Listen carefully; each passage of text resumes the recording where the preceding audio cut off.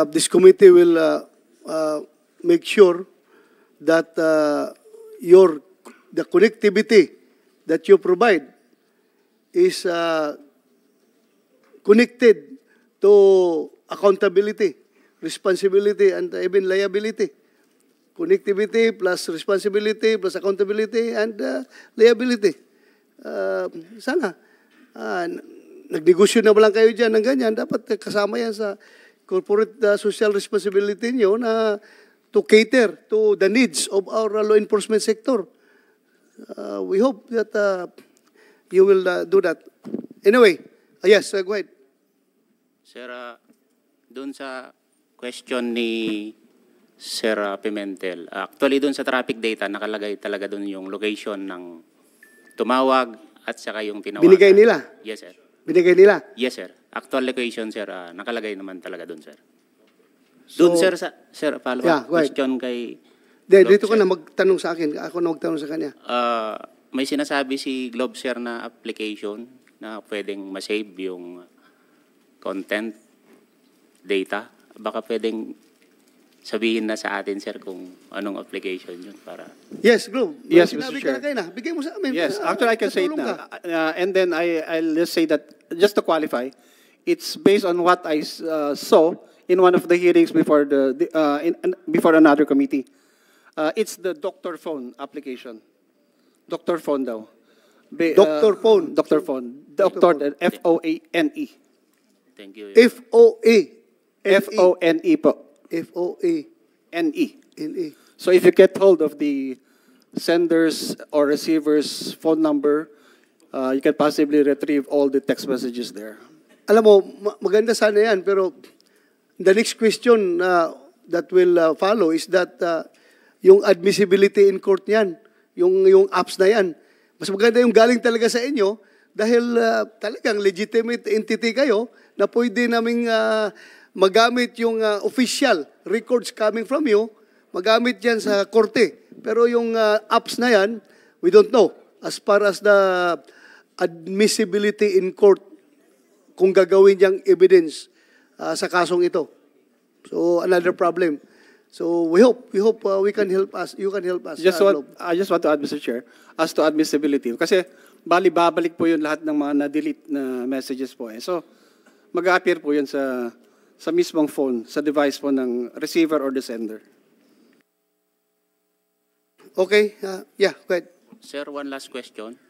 Uh, would it be possible, sir, na halimbawa, i-download namin yung doctor phone and then ibigay namin sa Globe for them to retrieve yung content data para wala kaming ma-violate, sir, na Okay. Uh, you you want to respond? Globe? Yes, uh, Mr. Chair. Hindi po mangy- uh, pwede kasi kasi wala sa amin po yung ano eh, yung phone, your device.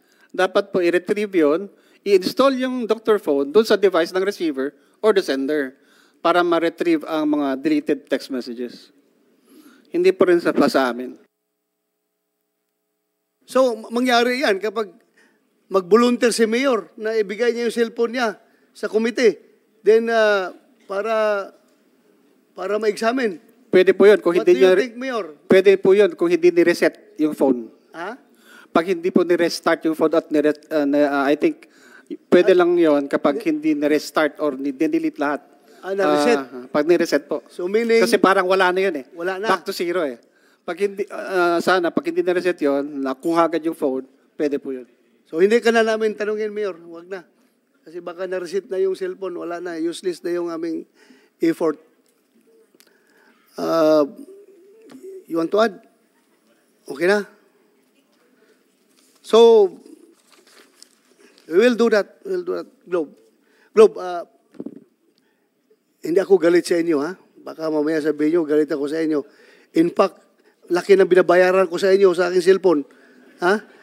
Ah, wala man lang discount kahit kunti. Pero malaking binabayaran ko pero Opo. ang akin lang akin lang being the Yes. chairman of this committee, I want to see results of the committee investigations that we are uh, kaya kaya nga pumunta sa amin itong anim na asawa ng namatayan dahil hirap sa kumuha ng hustisya.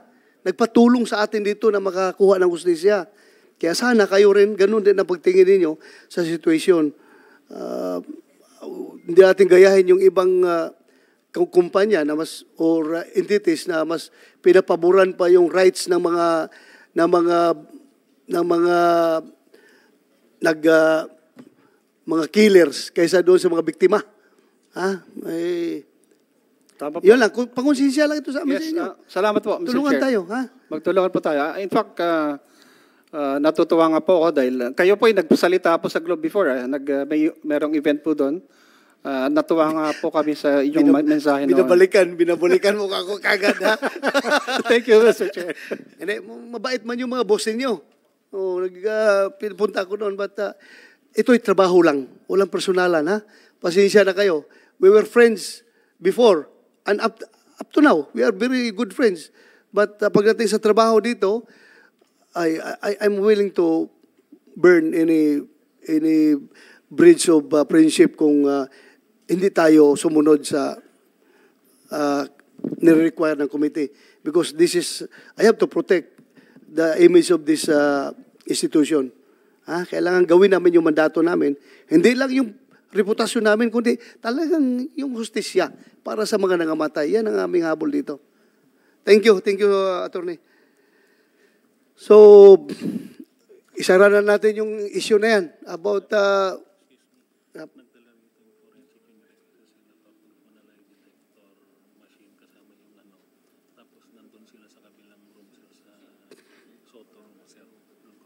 I- i-remind mo ako mamaya, ha?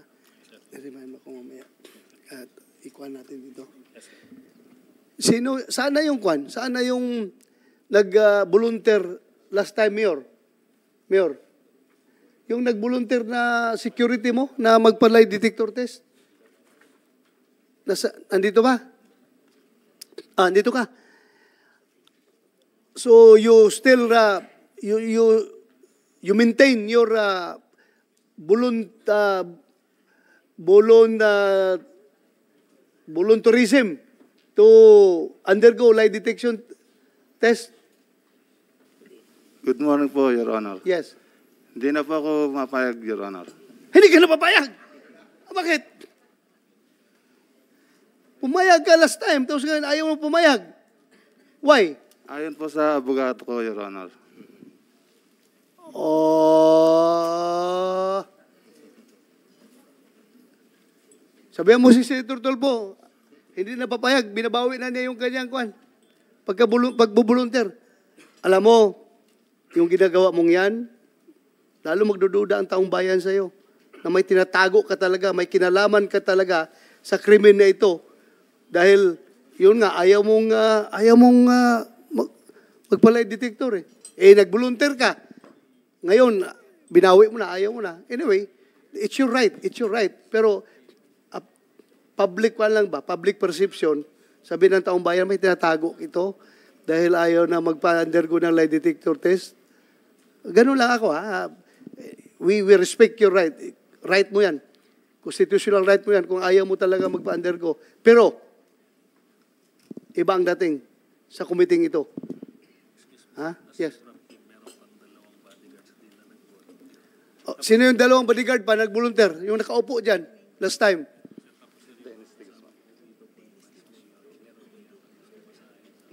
Ah, sige, sige, sige. Sino pa yung dalawa? Po.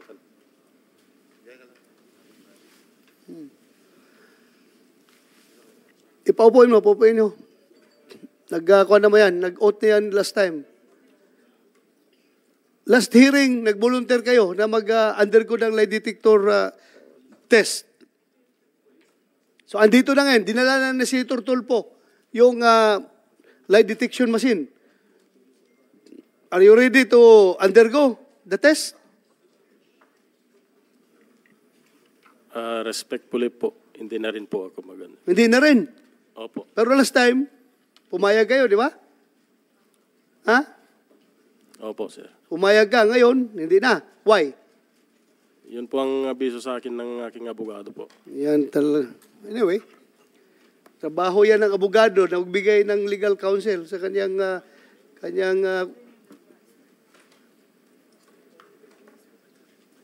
Pero alam mo kung malaman namin na nagsinungaling ka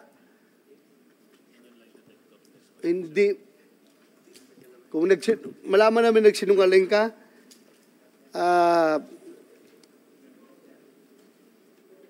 will it incriminate you?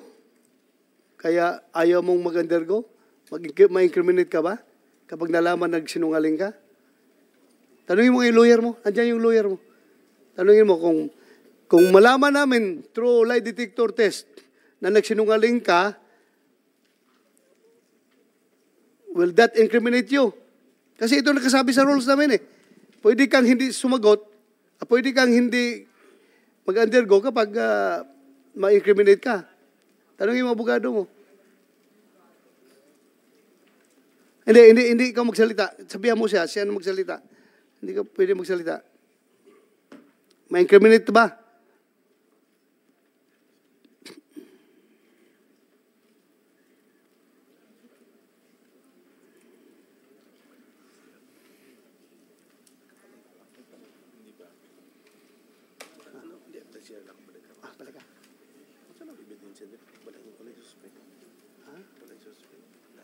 suspect na na na nasa ko na nagte-text ito sa Leo para mga dalman yung pa na na na on the day itself oh, meron no to make it official they, they obtain that legally to make it official kahit magagaling sa law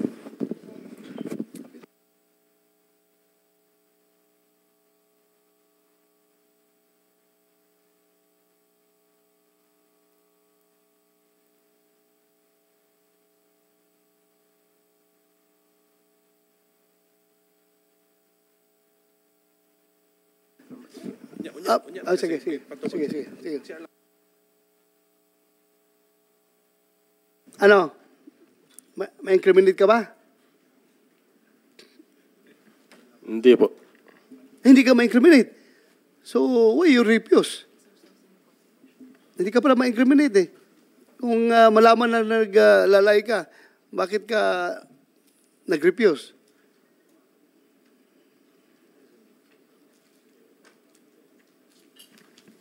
Ah, kasi po, ah, hindi po ex- explosive yung lie detector test po. Ha?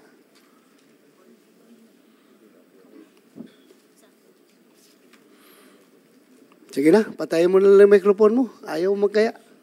Ha? Ayaw mo magkaya. No, So? Mukhang may tinatago nga talaga kayo. Ayaw niyo yung um, ayaw niyo mag ah, Yung isa pa. Bodyguard, oh. Magpalay detector test ka? Hindi na rin po. Hindi na rin. Hindi po. Pero last time, nagsabi ka na magpa, magpalay detector test ka. Opo. Nag, nag-oo ka last time, di ba? Opo. O ngayon, ayaw mo na rin. Dahil advice ng abogado. Opo. Opo.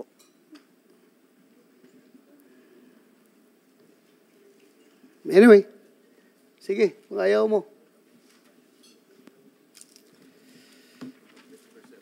Ha? Talo na kayo, public perception.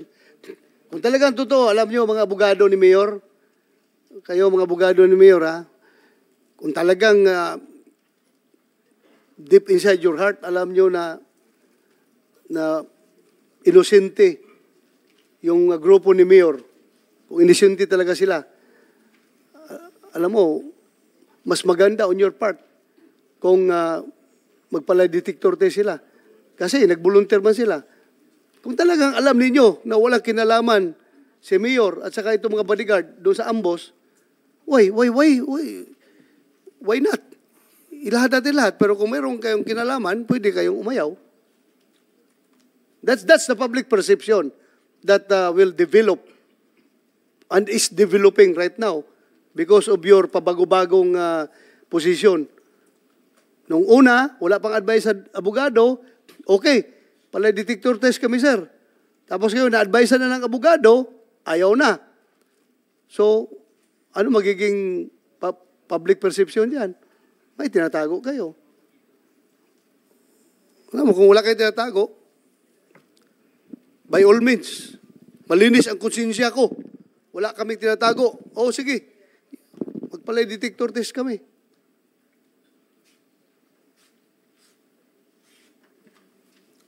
Your Honor. Sige. Yes, uh, you have, go ahead, uh, Mrs. Alameda. Thank you, Your Honor. If you may please allow me to read our position and request your Yes, go ahead, ma'am. committee- You have the floor. Yes, in connection na rin po sa mga na-discuss na issue na, Your Honor. The dead cannot cry out for justice. It is the duty of the living to do so for them.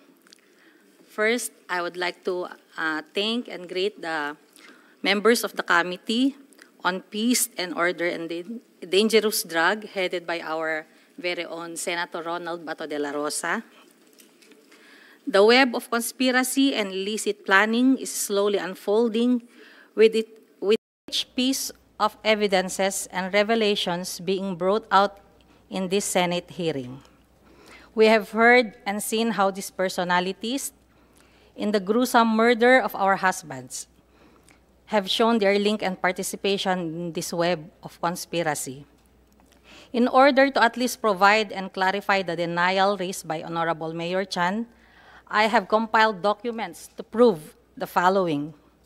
Contrary to the allegations that there, was no ombudsman case, a certain Jose S. Alias of Apari, Cagayan filed on March 4, 2022, cases for anti-graft and corruption practices, misconduct, and dishonesty, which was endorsed by the Ombudsman to COA Regional Office 2 on December 2, 2022 for evaluation within a period of 45 days.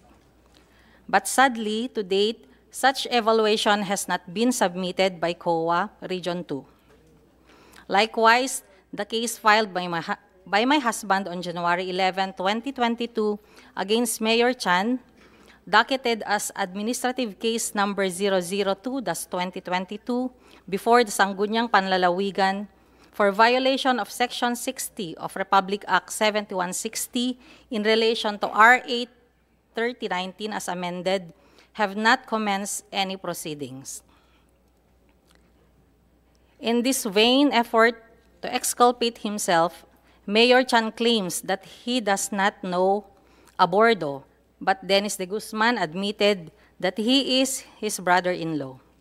Also, Dennis de Guzman and his other security personals who are from Nueva Vizcaya and Ecija admitted that they were chartered by Romel Osenya, his best friend and classmate, to be his security guards. Abordo, upon learning that he is implicated in the murder, suddenly disappeared from his residence. Flight is an evidence of guilt. Or is this a scheme to avoid investigation of Abordo? Per NBI's report, they revealed that a pickup driven by Mr. Romel Osenya was seen tailing the vehicle of my husband. But when the Isuzu Adventure was burned and later on the and later on the ownership of Abordo was directed to him, Romel Osenya was allegedly kidnapped. Is this a ploy to deter the in- investigation on Romel Osenya? Nawawala po ang mga vital personalities in this case, Your Honors. The question is, who is hiding and financing these persons? The authorities should uh, locate Abordo and Osenya in order to unearth the participation in these heinous crimes. If Mayor Chan is indeed innocent, as he claims, I challenge him to execute a waiver before this committee in order that all his electronic communications will be scrutinized and in order Globe to provide this committee all the messages and calls prior to and after the murder of the Apari Six. He must also voluntarily allow himself to undergo a lie detector test in order to confirm that he is very truthful in this investigation. Further, considering that Dennis de Guzman categorically admitted that he is using the firearm of uh, Mayor Chan, Mr. Chan's LTOF should be cancelled and revoked. That is an express violation of the firearm law for allowing the use of his firearm by another person other than himself.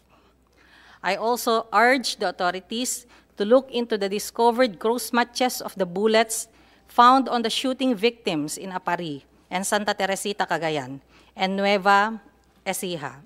The victims in Santa Teresita, Cagayan, Herbert Abinan is still alive, and a CCTV footage of the crime scene, the assailant was spotted. This is a vital evidence that may lead to the resolution of this investigation. Pa, paki- pakiulit nga yung last mga few sent- sentences mo. Hindi ko masyado nakuha. Pakiulit, ma'am.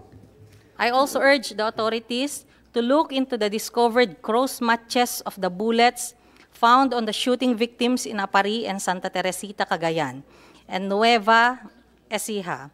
The victim in Santa Teresita, Cagayan, Herbert Abinan, is still alive, and a CCTV footage of the crime scene, the assailant was spotted.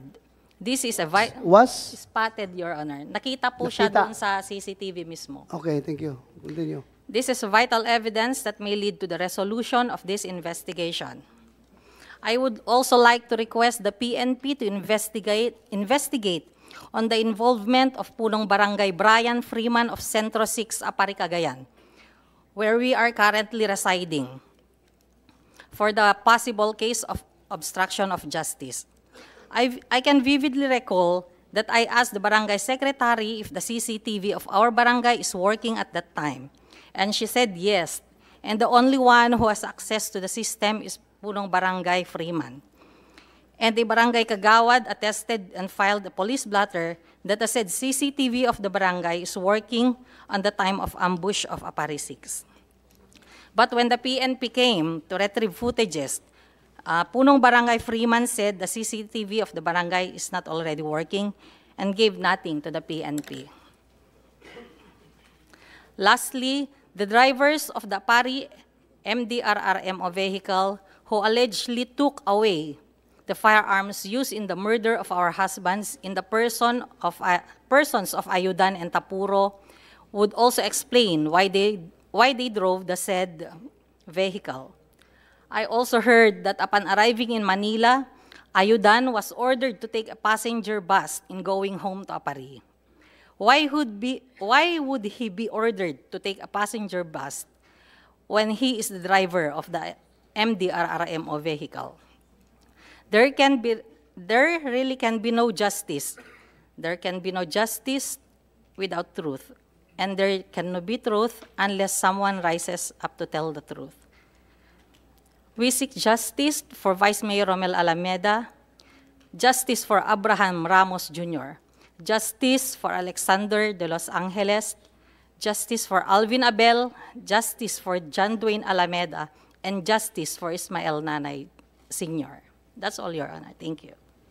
Thank you, ma'am. Uh, Comsec, are you taking notes? You, pwedeng hingin yung kwan, ma'am, yung, yung sinabi mo, para maimbitahan namin yung mga tao na nabanggit mo in the next hearing. Yes, Your Honor. Uh, before I recognize uh, Senator Win Gatchalian, uh, Senator Win Gatchalian, andito si Mayor, uh, uh, si, uh, I would like to acknowledge the presence of uh, Senator uh, Rafi Tolpo. Medyo minalas yung uh, kuha natin. Bumaligtad yung uh, ayaw na magpa-lie detector. Pinapadala ka pa ng lie detector test dito. Tapos ngayon, na-advise ng abogado, ayaw na. But uh, Uh, actually, nahulaan ko na yon, uh, Mr. Chair. Talagang umuulan dito para hindi siya mapahiya. And then marami na akong ganong klaseng mga kaso eh, na later on pag nandyan na atras. Thank you for that, uh, Senator Tolfo. Uh, we will take that up later. Uh, si, si Barangay Kapitan. Yes, Kap. Na narinig mo yung allegation kanina? Yung sinabi ni Mrs. Uh, Alameda? Yes, Your Honor. Yes, uh, go ahead. Anong uh, masasabi mo doon? Sa tungkol po sa CCTV, ah nasa palengke po ako nung araw nun. Nagtitinda po ng karne ng baboy. Then ah, tumawag po yung misis ko na may dalawang pulis daw doon sa barangay hall para nire-review yung CCTV, Your Honor. Kaya umuwi po ako. Ah, sinabi ko po sa kanila na tignan nila yung yung ah, record po doon sa taas dahil nandun po sa taas ng cabinet yung kwan niya po, yung recorder niya. Hindi ko po yun, ah, hindi, hindi ko po sinabi na sira, kundi sinabi ko po sa mga pulis na kung ano po yung kailangan ninyo, ay kunin nyo na po. Sabi ko sa kanil, dalawang pulis po yung pumunta sa barangay hall ko po. Your Honor. PNP, may nakuha ba kayo doon sa CCTV ng barangay sentro? Yung barangay ni Kapitan? May nakuha kayo? Bakit? Halika, halika.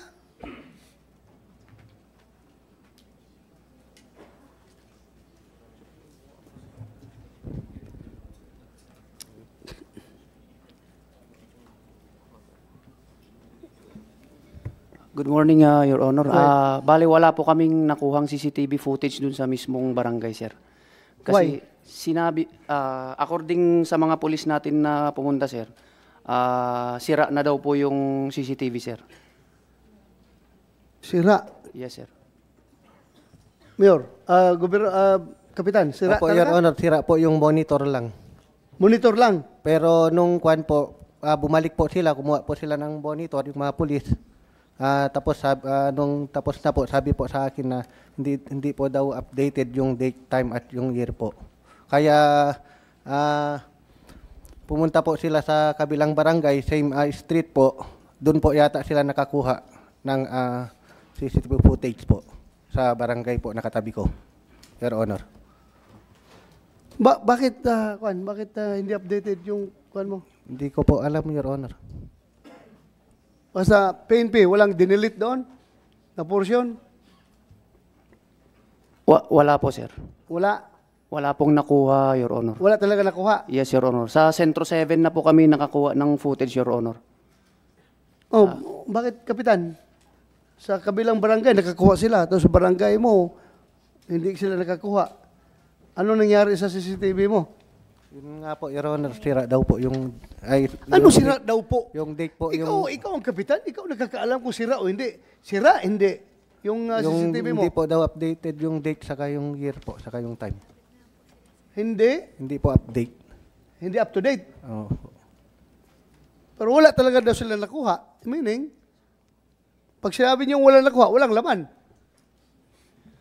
Yes, Your Honor. Ah, pero meron pong ah, nagpa-blatter po yung may nagpa- nagpa-blatter na dalawang ah, ah, barangay staff sa aming police station, sir, Your Honor. Na sila po yung ah, naka-duty ng barangay na yun. Tapos, ah, ang nasabi nila dito, sir, ah, guma when sir, aggangana eta CCTV mi. Yun yung sabi nila, sir, na in which sa Tagalog, sir, opo, sir, gumagana po yung CCTV namin, sir. Oh, gumagana. Hindi, bakit wala kayo nakuha? Ah, nung ang sabi nila sir, na kay kapitan daw po yung password ng ano sir ng CCTV sir. Na kay Kapitan. Yes sir.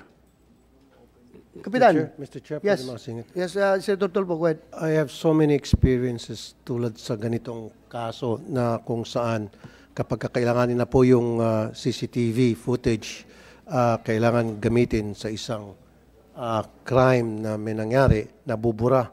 Kaya nga doon sa batas na pinapasa ko, kapag halimbawa tulad nito si ah, Chairman ah, Freeman, ah, kailangan natin yung CCTV footage sa isang crime na makatulong mag-solve doon sa crime kakasuhan natin siya, makukulong siya. Yun yung pinopropose ko sa bill ko. Kasi very clear na binura nila yon. May, lu- may lumapit sa kanya o sa kanila, inarbor yung ano yung laman ng CCTV at binura. Yun lang yun eh. Ah, kasi sabi nila may laman daw, okay daw, 'di ba? Sabi nung ah, nakausap ng pulis natin. And then pagdating kay chairman, burado na. So doon sa bill na pinafile ko, ah, si chairman makukulong. Thank you. Thank you for that uh, uh, bill, Your uh, Honor, Senator ah, Tolpo. Your Honor. Yes, uh, Senator Pimentel. Uh, Thank about, you, Your um, Honor. And uh, I can testify, Your Honor, na uh, gumagana talaga yung CCTV kasi si Kapitan po, pinaglagyan po niya ng CCTV mismo sa tapat ng gate namin. So nakikita kong gumagana yon. So ngayon po, uh, nung nangyari po yung krimen na yon, uh, nagsuspecha na po ako na uh, intentionally talaga nilagay yung CCTV sa tapat ng aming gate para mamanmanan ang lahat ng galaw ni Vice. Tapat ng gate ninyo. Opo, Your Honor. At Mr. Chair, pwede Yes, maka- go ahead, go ahead. Singit. Ah, Chairman Freeman, willing ka ba mag-undergo ng ah, polygraph test na wala kang ginawang magic-magic sa CCTV footage? Yes or no? No, Your Honor.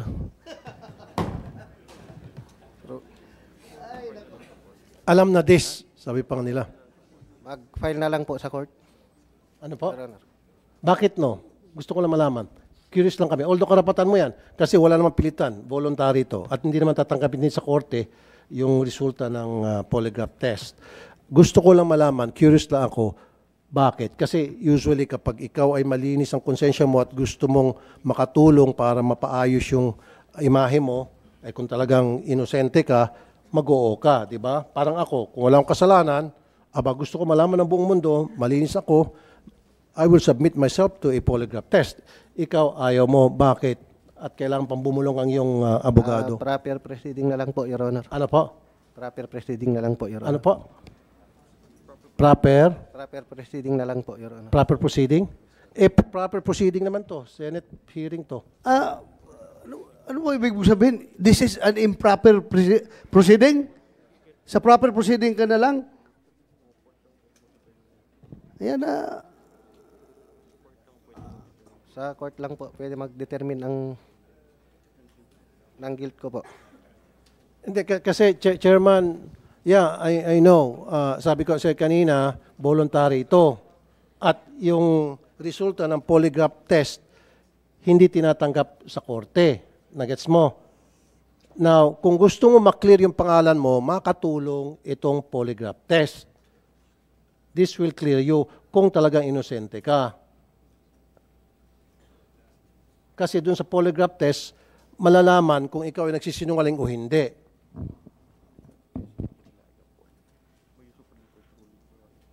Hindi po, ah, hindi po reliable yung kwan po. Ano po? Hello. Hello, hello. Sige po.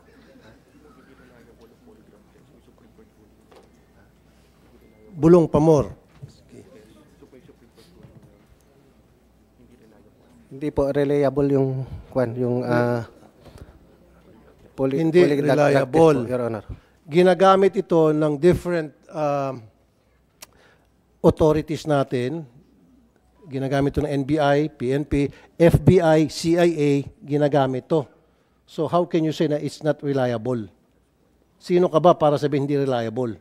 Samantalang itong mga malalaking ahensya ng pamalaan dito sa Pilipinas, maging sa abroad, Europe, US, ginagamit ito.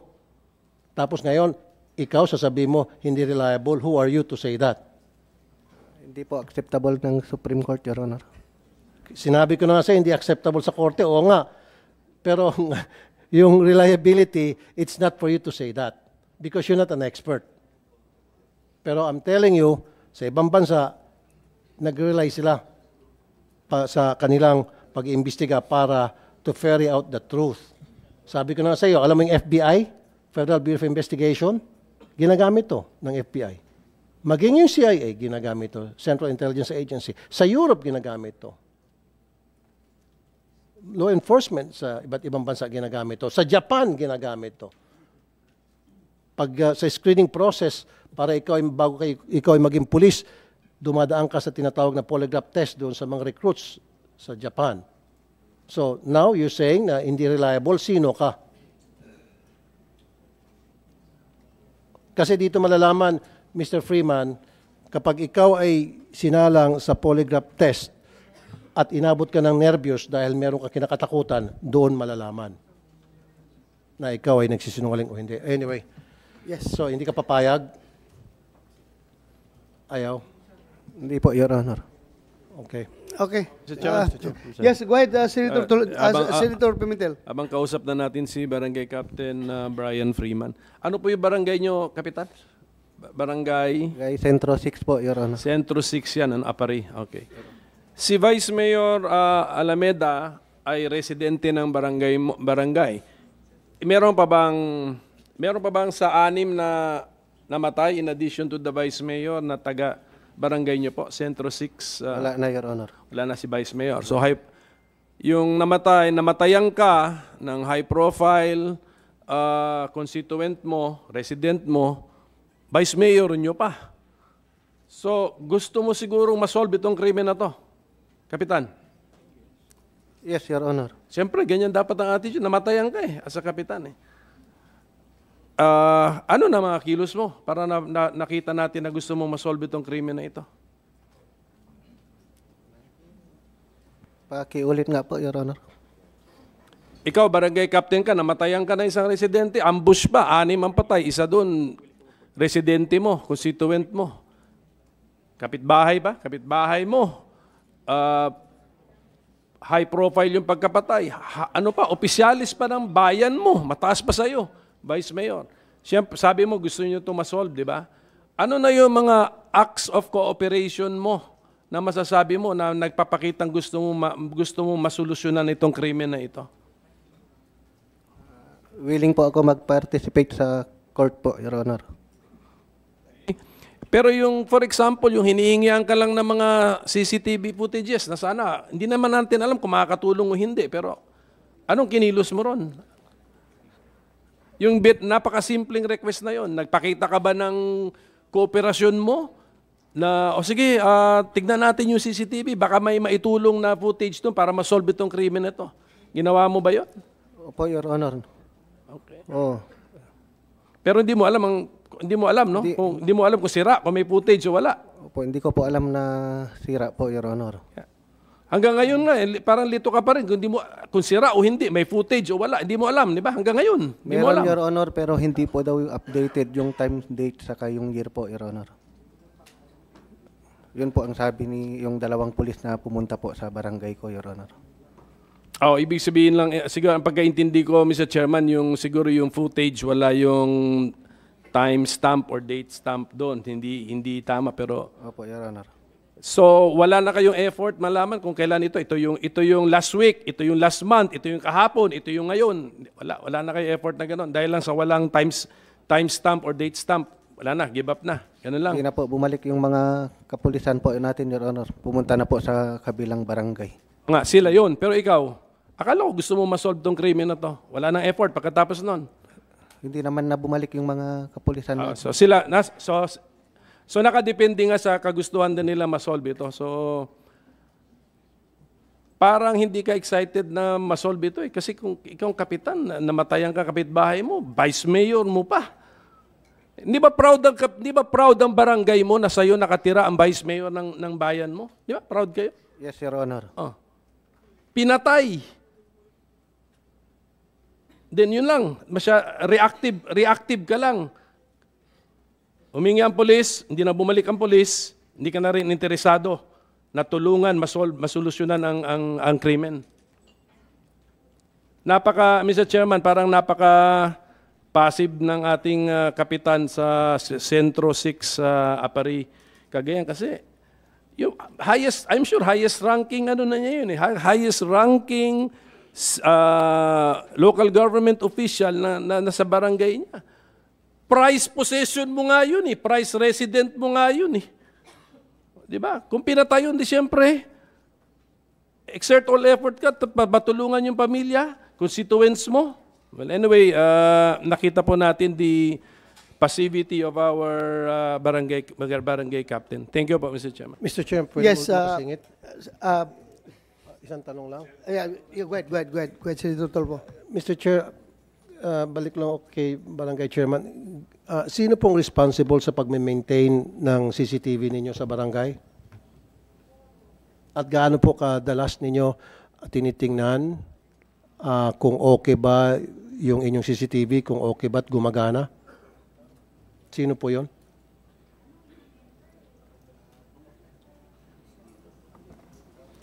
Ah, pag may ah, nagpapa-review po yung CCTV. Hindi sir, sir, tan- yung tanong ko lang sagutin nyo. Sino po yung taong responsable sa pag-maintain ng CCTV para siguraduhin na maayos ang andar noon na hindi sira, na hindi pumapalya? Sino yun?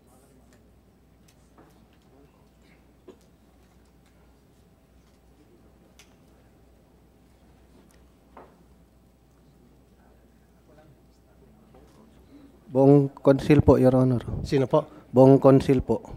Hindi, isang tao lang po yun. Hindi naman pwede lahat kayo, sampu. Tapos lahat kayo naka, nag-maintain ng camera, niloloko mo naman kami. Isang tao lang yan. Sino po yung nag-maintain? Um, Senator Tulfo, the, the mere fact that sinabi ng uh, police na nagmamin, nagha, may hawak ng, ng password nung uh, CCTV niya, si Kapitan, so siya lang ang mag siya lang ang nag uh, magtitinker-tinker nung uh, system na yan. Kasi siya lang may hawak ng uh, password. I'm leading to that sana. Ah, kasi narinig ko sinabi ng PNP natin. Nabubulo na nga siya, di niya masagot eh. So, i-shortcut na natin. So, ikaw yung responsible na yon. Tama. So, dalawa lang ibig sabihin nito. Inutil ka o sinungaling ka. Hindi Hindi nga, dalawa lang. Kasi ako inutil ka, so hindi mo na-maintain. Kasi kung na-maintain mo yun, na tamang maintenance dyan, at on a regular basis, sinisiguro mo na maayos ang andar, then hindi ka inutil. Ginagawa mong trabaho mo. Okay?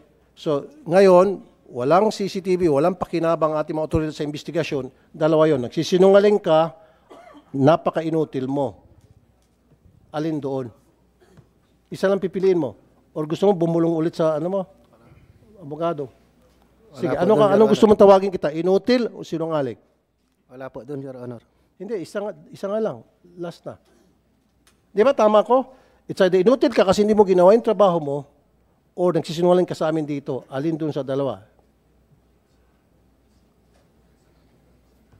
Ako, all of the above. Mas salamat, Mr. Chair. Thank you, Senator Tulfo. Uh, Senator Win Gatchalan, yeah, you have the floor, Your Honor. Mr. Chair, thank you very much for uh, uh, the opportunity. Uh, Una-una sa lahat po, nakikiramay ho kami sa may bahay ni Vice Mayor uh, Alameda at sa anim pong uh, kasama po ni Vice Mayor na nasawi nung nangyari po itong insidente. Uh, alam niyo, Chairman, my mother was born, raised, studied in Apari. No? Tubong Apari ho siya. At uh, kaya ho nung nangyari itong insidente ito, ah, nagulat po yung buong mother side ho namin dahil ah, ang alam ho, alam ko at alam ho ng aming pamilya, ah, tahimik po ang apari. No? It's a very quiet. In fact, it's very progressive. Nung pumunta ho ako doon, eh, tuloy-tuloy po ang pag, pag-unlad ng apari. At ah, on the way na to become a city uh, one day. No? So, But uh, hindi ho unlad ang isang lugar kung hindi ho tahimik eh. No? Kaya ho kilala ang Apari bilang isang uh, tahimik na lugar. Kaya ho nung nangyari itong insidente ito, marami pong uh, nagulat, kasama na po ako. At uh, nagpapasalamat po ako sa ating uh, chairman at uh, binuksan ho itong uh, pagdinig para po makamit natin ang hustisya doon sa, doon sa mga nasawi. At uh, alam niyo ho, importante pong uh, malaman ho natin kung sino ho ang ah, may kagagawan ho nito para mabalik ho natin yung yung yung sigla no at ah, yung tahimik na reputasyon po ng Apari no dahil hangga't ah, ito ay nakabinbin at hindi po ah, nakakamit ang hustisya buong Apari po ang apektado ho dito hindi lang po yung mga pamilyang ah, na, na, na, na namatayan kung hindi buong no, buong ah, municipal, municipalidad po ng Apari. Kaya maraming salamat Chairman. May isa lang akong tanong no kung kung pa- pahintulutan niyo po. At ah, gusto ko itanong ho to sa Nueva Vizcaya ah, PNP no. Ah, ano po based on your investigation P- P- Nueva Vizcaya PNP at yung Apari PNP ah, based on your investigation ano po yung mga posibleng motibo na nakikita niyo ho? At sino po yung mga posibleng ah, mga taong nasa likod ho nito?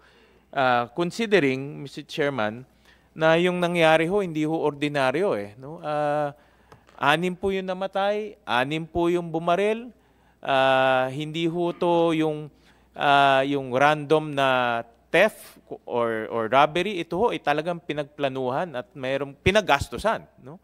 So gusto ko malaman ho, uh, maybe kay General uh, Birong, kung ano po yung nakikita niyong motibo bas, base ho sa investigasyon ho ninyo at sino ho yung mga uh, grupo na gumawa ho nito. No? At siguro mahirap sabihin kung sino yung mga likod, pero sino yung grupo dahil organized ho itong mga ito eh. Hindi ho pwedeng uh, hindi nating alam na ito mga ito, obviously for hire to. No? marunong, organized, may pera, alam nila kung ano yung gagawin ho nila. So tingin nyo, sino ho itong mga grupong to? Mga ex-military ba? Ex-police ba? Retired na uh, enforcers? Ano po yung inyong initial na investigation? So dalang tanong, motibo at sino itong mga taong gumawa ho nito? No? Yes. Anyone from PNP? Yeah, uh, before, thank you for that question, uh, Senator Gatchalian. Before uh, General Berong answers the question, uh, we'll give the floor to General uh, Rumbawa because he was the RD during that time. At alam ko na-establish niyo yung motibo at uh, meron kayo mga persons of interest. Uh, kindly answer the question of Senator Gatchalian. You have the floor. Good morning, Your Honor, sir. Uh, when I was the regional director of PRO2, uh, the killing of Mayor Alameda transpired in uh, Barangay Kinakaw, uh, Bagabag na Vizcaya, which uh, shook the province of uh, Nueva uh, because of the magnitude of the incident. Uh, initially, we conducted investigation. We collected uh, information from uh, uh, other people. Uh, and it was reported that one of the motives was politics. And uh, uh, because of the stories uh, relayed to us on the conflict between the vice mayor of Apari and the incumbent mayor of Apari about the filing of cases, filing of cases in the ombudsman and uh, some of the issues that are uh, that transpires that transpire between them, and it it, it is the cause of trouble and uh, it's uh, each of them had the grudge to each other. So we uh, focus on the conduct of investigation. Uh, just like uh, that is why, Your Honor, we are we want to retrieve the data of the conversations as having been applied by the regional anti-cybercrime unit for us to be able to determine and to get to the bottom of the investigation on the uh, alleged uh, exchanges of messages of uh, the mayor of Apari. Okay, uh, motive, politics, Politics, sir. Uh, persons of interest, uh, the one mentioned by the re- Sino nga? CIDG. Uh, the uh, mayor of uh, Apari, Cagayan, and uh, his uh, bodyguards. bodyguards. Yes, Your Honor. And Yung- some other people whom who are close to him. Okay, thank you. Thank you for that. General Berong, you want to add?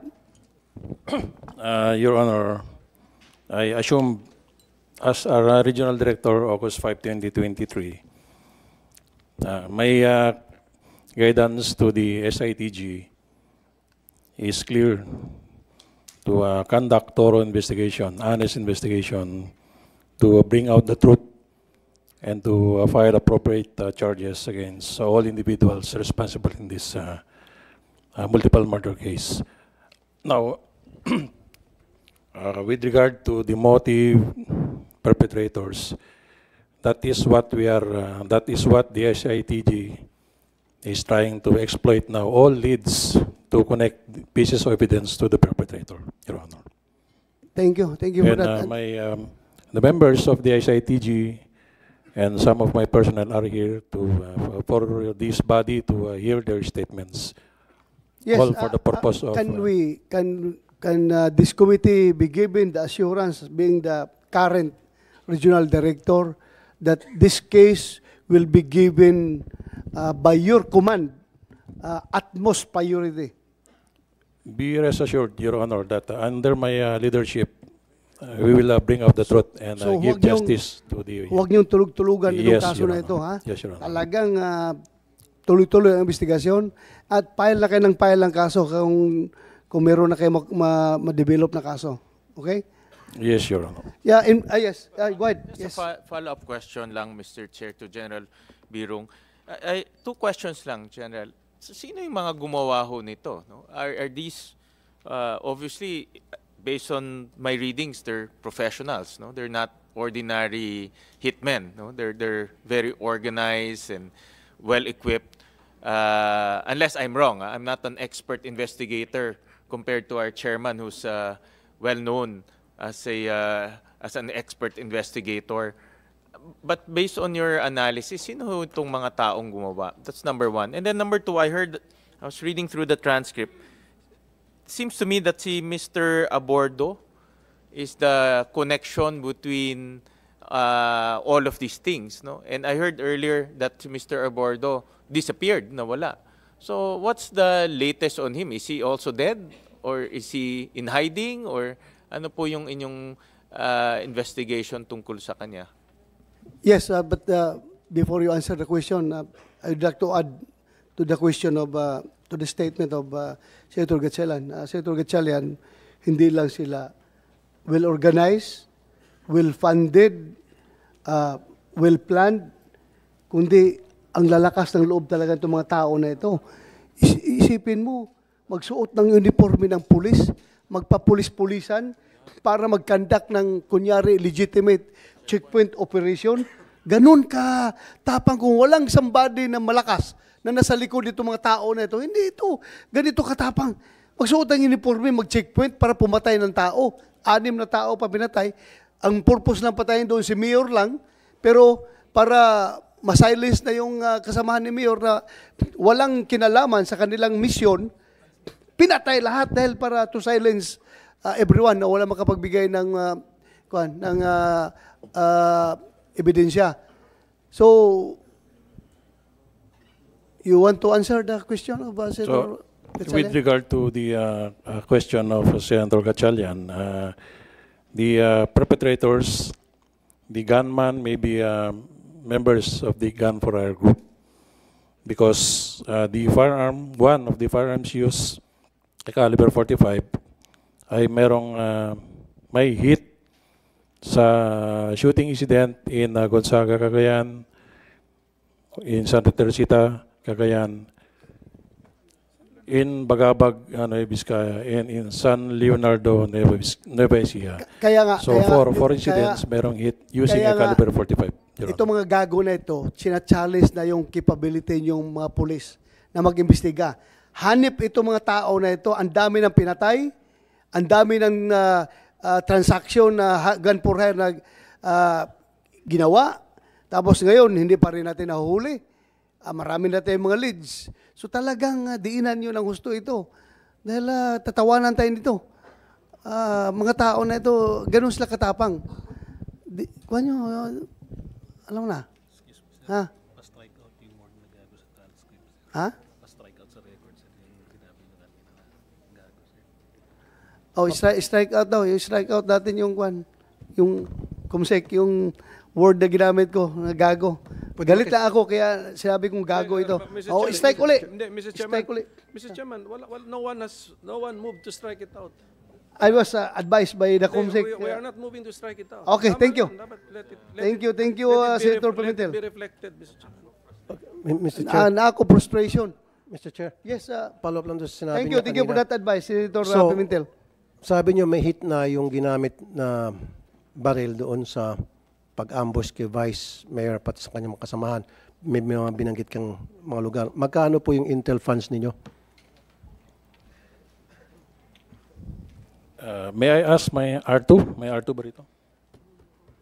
Because the intel funds uh, go directly to my uh, intel officer. Kaya nga po, May ask? kasi habang inaalam mo pa kung magkano intel funds, di ba ah, sa unang insidente pa lang na meron na kayong ah, napag-alaman na it was a professional hit, and then pangalawa, na ulit-ulit, pangatlo, di ba dapat doon yung ginagamit yung inyong intel funds para ah, alamin ah, sa pamagitan ng inyong mga contacts kung sino itong grupong ito.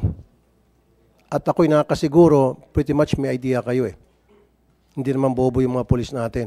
May idea kayo kung sino itong hitman group na ito o sino itong tao na gun for hire. Tama? So sino-sino po sa inyong ah, pagkakaalam ang mga member ng gun for hire doon sa inyong region? Don't tell me na you don't know. Sino-sino po? Pulis kayo, ba't kayo matakot? Banggitin Yeah, nyo yung yeah. mga pangalan ng gun for hire. For, for that matter, ah, yung mga persons of interest yung sabihin nyo. Hindi, Chair, ah, Mr. Chair, yung sa gun for hire lang. ay, yung gun for hire. Kasi sinabi nga niya, eh, nakatatlong hit na nga raw ng bala na ginamit sa iba't ibang insidente ng pamamaslang. So, I'm very sure na nag-conduct na sila ng kanilang investigation using their intelligence funds, using their sources, assets, and all para alamin kung sino-sino itong gun for hire doon sa area nila. Kung sino-sinong sikat ng mga grupo na gun for hire. And the policeman knows that. So, why don't you mention to us sino-sino itong mga gun for hire na alam ninyo? At sila ba iniimbestigahan nyo na anong nangyari sa ginagawa nyo investigasyon sa mga gun for hire na ito? At magkano muna yung intel funds nyo? you may respond. Ah, yung arto mo, o yung, yung previous arto. Sama mo Morning, rin ah. yung previous arto. Yeah, go ahead. Morning, Your Honor. I'm Police Lieutenant Colonel Cablarda, the Intelligence Officer of Region 2. For the information of the committee, sir, uh, we have only, we have 600,000 per month. Magkano po? intelligence fund. 600,000, sir. For the whole 600,000. region, sir. Okay, so doon sa 600,000, syempre kahit na siguro 100,000 lang gamitin nyo pang intel nyo para alamin kung sino yung mga gun for hire. You guys don't know kung sino yung mga gun for hire nag-ooperate sa inyong region? Wala pa kayo natatanggap ng mga balita, impormasyon sa inyong mga assets? No, sir, uh, dun sa investigation, sir, uh, yung uh, Joey Cabeza na, na, na involved doon when I was uh, Chief of Police of Papari, sir, in 2010, uh, dati na yun, sir, na involved sa gun for hire. Joey Actually, Cabeza? Yes, sir, yung Okay, inimbestigahan nyo ba si. Joey Cabeza? Nasaan na siya? Anong anong klaseng investigation ginagawa niyo para kay laban kay Joey Cabeza na may- he might be the one involved? Pero based sa sa information na gather namin, sir, nakalink naman siya sa kay Vice Mayor. Lagi siyang pupunta kay Vice Mayor. Pero ang nangyari sa investigation nila, parang pu- napunta sa kabila. Napunta, bumaliktad. Bumaliktad, sir. Yun ang kanila sa information na kuha namin Okay, sa nasaan na si investigation. Cabeza ngayon? May information Hindi kayo? ko na rin po alam, sir, kung nasaan. Pero nahuli din siya nung 2019 or 2020, sir. Nahuli siya dito sa NCR for uh, violation of 9165. Pero nakalabas ulit, sir. So, hindi na po namin Is alam it kung possible nasaan. na siyang may kagagawan? Or involved siya? Eh, Possible, si- sir, kasi gun for hire po talaga yun, sir. Okay. So bukod kay Cabeza, sino pa yung mga ibang sa tingin nyo na mga gun for hire na kilala dyan sa inyong region? Yung uh, mga person of interest po natin, sir, na kasama po ni Vice Mayor ngayon, kasi based doon sa mga information Hindi, gathered hindi. na... Uh, you know, person of interest. Im- ang ibig sabihin, yung mga talagang identified as gun for hire. Alam na mga pulis yan. Hindi ako maniniwala, hindi nyo alam. Sino-sino yung mga kilalang gun for hire na mga politiko na nasa order of battle ninyo? Wala na po sa ngayon, sir. Wala na? Wala na po. Hindi, dati, dati sino? Alam niyo yan. Alam niyo ng PNP. Alam niyo ng NCRPO. Alam niyo lahat yan. Imposible hindi alam ng PNP yan. Ang problema kasi dito, R2, sir, eh, yung inyong intel funds, ginagamit nyo ata para suyurin yung probinsya, alamin kung sino-sino nagpapa-illegal na sugal at doon kayo nagko-concentrate. Hindi, dapat dito kayo nagko-concentrate sa mga ganitong klaseng sitwasyon, kung sino-sino yung mga kriminal. Hindi yung kung sino-sino mayroong pasugalan dyan, tapos pupuntahan nyo para hingan. Huwag po ganon. So, ulitin ko. So, isa lang ang alam nyo, si Cabeza lang. Sino pang iba na alam nyo, nasa listahan nyo? Base sa inyong pag-intel. Meron dalawang criminal gang po, sir, pero na-downgrade na po sila sa watch list, sir. Yung... uh, Tinanggal nyo sa watch list? yes, sir. Ba't nyo tinanggal?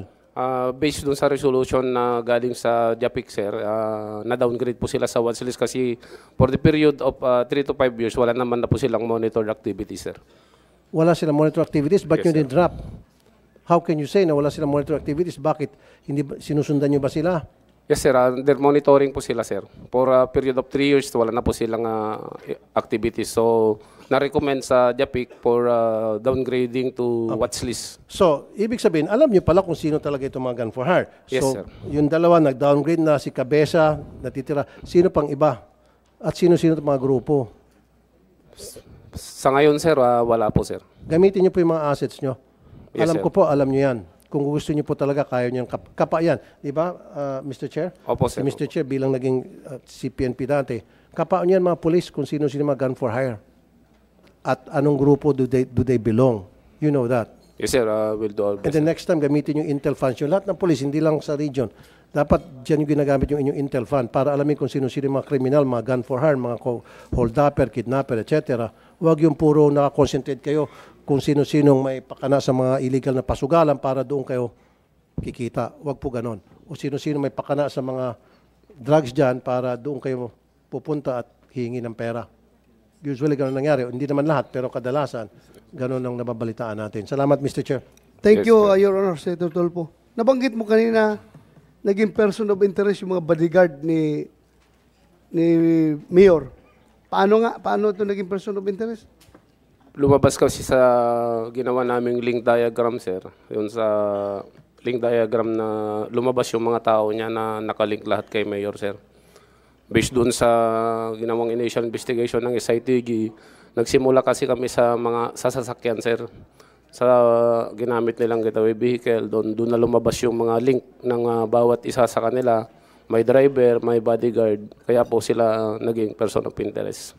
Okay, thank you. Speaking of uh, vehicles, andito ba si Marvin Ayudan, yung MDRRMO ambulance driver ng Apare? Halika, upo ka dito. Dito siguro, dito. Dito ka. Ah, may bakante pa ba dyan? Sige, diyan ka.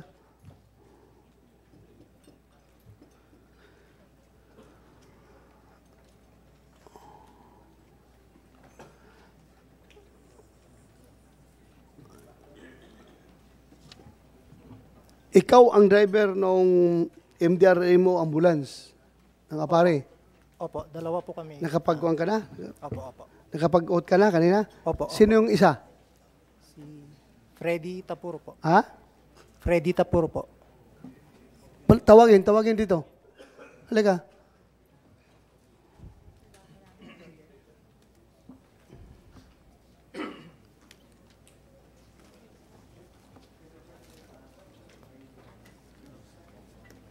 Sino ang duty nung araw na yon? Nung pagpatay? Ako po, Your Honor. Ikaw ang duty? Opo. Merong informasyon na nasagap yung committee na ito na yung sasakyan mo, yung MDRRMO ambulance, ginamit sa pagsundo ng mga tirador at doon kinarga yung mga armas. Saan ka ng panahon na yon? Kailan po yung... Yung araw nga na yon nangyari. Ikaw mo kaya ang duty. Opo. Anong ginawa mo yung araw na yon? Ah, Your Honor, ka- kami po yung sumundo Sumundo sa dun sa yung mga ano, mga bangkay po. mga bangkay. Opo. Kinuha ninyo doon sa crime scene. Yes po. Ah, hindi po. Sa hospital. Hospital. Anong oras? Sir, with family po and PNP. Convoy po kami. Ah, nag-convoy kayo.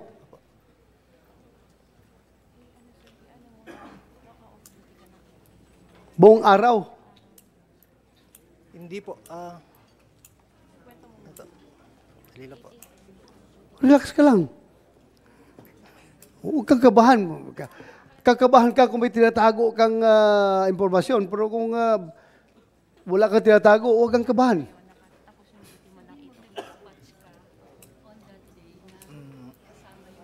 Yung sinabi ni Mrs. La- Alameda kanina, nagtataka siya, Mrs. Alameda, yung sinabi mo kanina na nagtataka ka, bakit pinasakay ng bus ang ambu- Yes, Your Honor. As per info po, Your Honor, ah, yung date po ng pag-pick up nila ng mga ah, baril sa Vizcaya is sa 21 or 20, February 21 or 22. Hindi po yung same date dun sa ambush. Ang ambush is ah, Ni- February 19 po, Your 19. Honor. Opo. So, yung pagsundo, 20, February 21 po, Your Honor. February 21.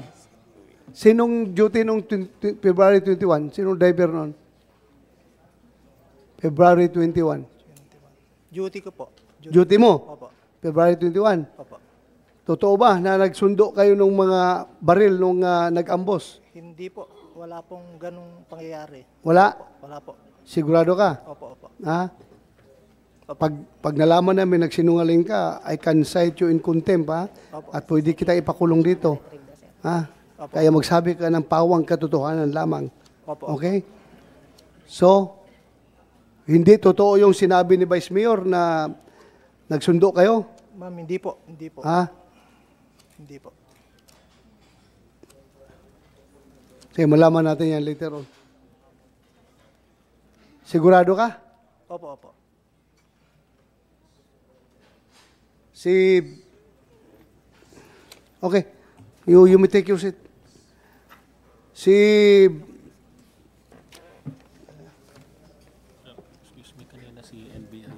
NBI Director, pasensya ka na. Kanina pa kita na, na kaligtaan. You have the floor. Good morning, Mr. Chair. Uh, good morning, sirs. Uh, habang nandito po sana to you, Mr. Chair, may I ask uh, Mr. uh, Barangay uh, Captain Freeman, although sinasabi niya po na malabo yung timestamp o hindi updated, no? Uh, is it possible for uh, him, Mr. Chair, na maibigay sa atin yung hard drive? So para po ma-examine natin at malaman natin, at least to be exhaustive lang po, kung merong Yes, uh, yeah, naputol o You have, you have subpoena powers, di ba? NBI? uh, habang nandito po sa Habang amin, Mr. nandito, Chair. Opo. uh, Barangay Kapitan, Yes, Your Honor. pwede mo ibigay doon sa NBI yung hard drive? Yes, Your Honor. Ha? Yes. Okay, thank you. So, Maraming salamat, uh, Mr. it Chair. is put on record Yes, na ibibigay niya. padadalang, Bigay mo, Kapitan, ha? padadalang po namin Yes, siya ng Honor. uh, extra para naman magamit. Continuous yung operation niya. Okay, ma- salamat ka sa NBI. Bibigyan ka daw ng extra na hard drive para hindi ka makapagsabi na sira yung kuan mo. Computer, yung CCTV mo. Yes, uh, ahead, uh, Senator. Uh, Balik ako sa mga uh, PNP who, who investigated the case. February 19, 2023 po, itong ating ambush in uh, the municipality of uh, Bagabag, Nueva Vizcaya. Okay, so merong sabi nyo, itong basic uh, alam na natin, ano, merong, merong naka-uniforming PNP, nag, kunwari na may checkpoint, hininto yung vehicle, tapos pinagbabaril, patay lahat, anim. Ilan po yung, ilan, at least na-fix natin, ilan po yung, ah, ilan po yung mga gunmen or yung grupo, ilan tao yun na na- nag-uniforme ng PNP at nag-put up ng checkpoint? Ilan? Yes, yeah, Colonel. you answer. PD Nueva Vizcaya. Yes, that's the one. The crime scene. Go ahead. Ye- Yes, sir. Uh, gu- good morning po, sir. Uh, based on our, uh, based on the CCTV during the incident, uh, we counted six. Six, okay. Yes, sir. Okay, six. So, yeah, at least anim. So, ni meron na tayong identity ng anim na yon o nung, kahit sinong membro sa anim na yon? Hindi ko hingi yung pangalan. Basta, ano nang, le- ano nang stage ng inyong investigation? Meron na tayong na-identify dun sa anim na yon? Uh, so far, sir, uh, wala pang direct identity kung alin doon sa mukha ng anim, sir, kasi naka naka nakabonit sila, sir. Ah, okay. So, So- yung okay. Yung video ba na napanood din namin na parang nakuha ng mga bisita doon, ah, is that ah, authentic video of the incident? Na may narinig sila sa background putukan, nakuha nila yung Ye- yes, sir. Uh, yun, po, y- yun din po nung, yung video na nakuha namin, sir. Yun ang nakatulong sa pagbilang ng ilang ilang gunmen. Opo, Okay. sir. Ah, sige. Sige pa, hindi natin siyempre ayaw natin i-telegraph yung ano natin ano yung yung ano pa yung detalye but at least uh, we, we are looking for six uh, uh, yeah, male personalities who perpetrated the actual ambush, ano, killing six people. Yes, uh, Senator Pimentel. Uh, in relation to the question of Senator Pimentel, PD Nueva Vizcaya, Meron kayong sinabi dito na na-identify yung isa na nanghiram noong ah, barricade ng eskwelahan para gamitin sa pag-checkpoint dahil binaba niya yung cover ng kanyang mukha. At na-identify yung na si Abordo, yung may-ari ng sasakyan na ginamit na sinunog. Na-identify si Abordo, di ba? Ah, wala pa po kaming na-file na ganyan, sir. Eh. Wa- May, meron ako nabasa. Sino yung nag-file ng kaso against sa yung first na filing ng kaso? Isay TG. Ang, na-file, ang na-file pa lang na kaso, sir, is we filed the case of murder against Abordo, uh, considering that uh, he is the owner of the vehicle. At mayroon pang na-file sa kanyang obstruction of justice because we went to their house during the investigation. Pinuntahan namin yung bahay nila uh, to question him. Pero wala, talagang hindi siya lumalabas. So na-file din ng obstruction. Kailang uh, uh, kulang yung circumstances, sir. Kaya nga, may, may nabasa ko, is it from the PNP or from NBI na na-identify yung si Abordo as yung nang ah, hiram doon sa barricade na ginamit pag checkpoint? Meron ko nabasa eh. Uh, Colonel Luyon. Sir, uh, Lieutenant Colonel Mercolio, sir, uh, Regional Chief of CIDG. Yes, sir, uh, ongoing po yung pagkukuha namin ng affidavit ng taong yun, sir, pero hindi ko pa i-divulge yung, uh, yung tao na yun, sir, in the identification of one of the perpetrators, sir. Yeah, but suffice it to say that ang na-identify niya si Abordo. Not, uh, uh, hindi ko pa pwedeng sabihin ngayon, sir, yung uh, identity No, one, ba- sir. basta, nasabi ko na ngayon dito eh. Basta to that, towards that direction, in-identify niya si Abordo. Possibly, sir. Oh, possibly. Kasi nandito, nabasa ko eh. Nang hiram si Abordo nung barricade Yes, sir. ng uh, eskwelahan para gawitin sa pag-checkpoint. Yung nakakita, binaba yung uh, yung uh, face mask ni Abordo at yun na-identify si Abordo. Yes, sir, yes, sir. Okay. Yes, uh, go ahead, Senator Gatchalian. Uh, to, to, to uh, ano ho, kung um, anyone from PNP, who is abordo? Who is abordo? Uh, Mr. Darren Abordo, based on the record, he is the registered owner of the vehicle used during the crimes. Yeah, but what is his background? Is he a politician? Is he a businessman? Is he from Vizcaya? Is he from Cagayan? Ah, si Mr. Abordo kasi sir, ah, siya yung bilas ni Dennis De Guzman, who is the bodyguard of Mayor. So, yun po yung link, sir. So, paano nagamit yung sasakyan niya doon sa crime. At ang sinasabi ng Mrs. ni Mayor ay politically motivated. Ah, Mrs. ni Vice Mayor. That the killing is politically motivated. So, doon po naglilink, sir, yung sasakyan ni Abordo, si Abordo na may-ari ng sasakyan, yung asawa ni Dennis de Guzman at asawa ni Abordo ay magkapatid. So doon po yung link, sir. But ba- ano si abordo? Is he a businessman? Is he a, ano ba siya? Politician? A- ano yung background niya? Wh- where is he from? I think uh, let's start from that. Uh, he is from uh, Santa Rosa, Laguna, sir. Ah, Santa Rosa, Nueva Ecija, sir. Nueva Ecija? Yes, sir. Okay. And then, uh, ano ang background niya? Am- Anong Dorsey, Ah, ano yung background ni, ni Abordo? Ah, ongoing pa, sir, yung background namin, sir. Ano po? Wala pa kaming background, sir. Pero, so can I, can I, yes, sir, can I say that, uh, pwede nating tanongin si, ano, sir, si Mr. Dennis de Guzman. Dapat malaman natin, si, uh, ano ba ho siya? May, ma- may, may, may negosyante ba siya? Politician ba siya? Merong criminal records ba siya? Mo, Your Honor. Huwag kang may sagot si, si IDG. Si IDG, you answer. Yes, sir. Uh, as to that, sir, may, uh, medyo ang kung sigurong makakasagot niyan, sir, yung bilas niya mismo, sir, si Dennis Din Guzman, sir, kung anong negosyo, negosyo niya, mga kontra. Yeah, I, I know, but uh, independently, I would have wanted the PNP to do a deeper, of obviously si Mr. De Guzman will say the good things, di ba? But uh, the PNP will, I hope, I hope, no, the PLP, the PNP have investigated deeper. Like for example, meron ba siyang criminal records? Yes, sir. Uh, we have already conducted an initial background of uh, Darren Abordo, sir. But uh, wala po siyang uh, criminal background. Ano siya, negosyante siya? Farmer ba siya? Uh, as per uh, COP of uh, Solano, si Abordo ay nagtatrabaho sa carpool, sir. Carpool. Siguro paparenta ng masasakyan siguro, sir. Carpool. Yes, sir. Nagka-carpool ho siya? Siya, driver siya, in other words. I'm not sure, sir.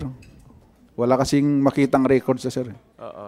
Pero ano yung itsura ng bahay niya? May, may mayaman ba siya? A- ano- Anong I mean, you you'll have some profile, 'di ba? Kung anong klasing tao ito.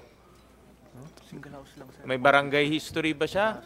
Additional info, uh, Your Honor, Senator uh, Gatchalian, uh, the last known address of uh, Abordo is 65-A, Pablo Santos Compound, Valenzuela City. Your city. Masyado naman ma Maraming twists and turns to, uh, uh, Mr. Chairman. Is that is that the address found sa O- ORCR ng bihikulo? Siguro. Uh, Siguro. That's, that's Uh, according to NBI?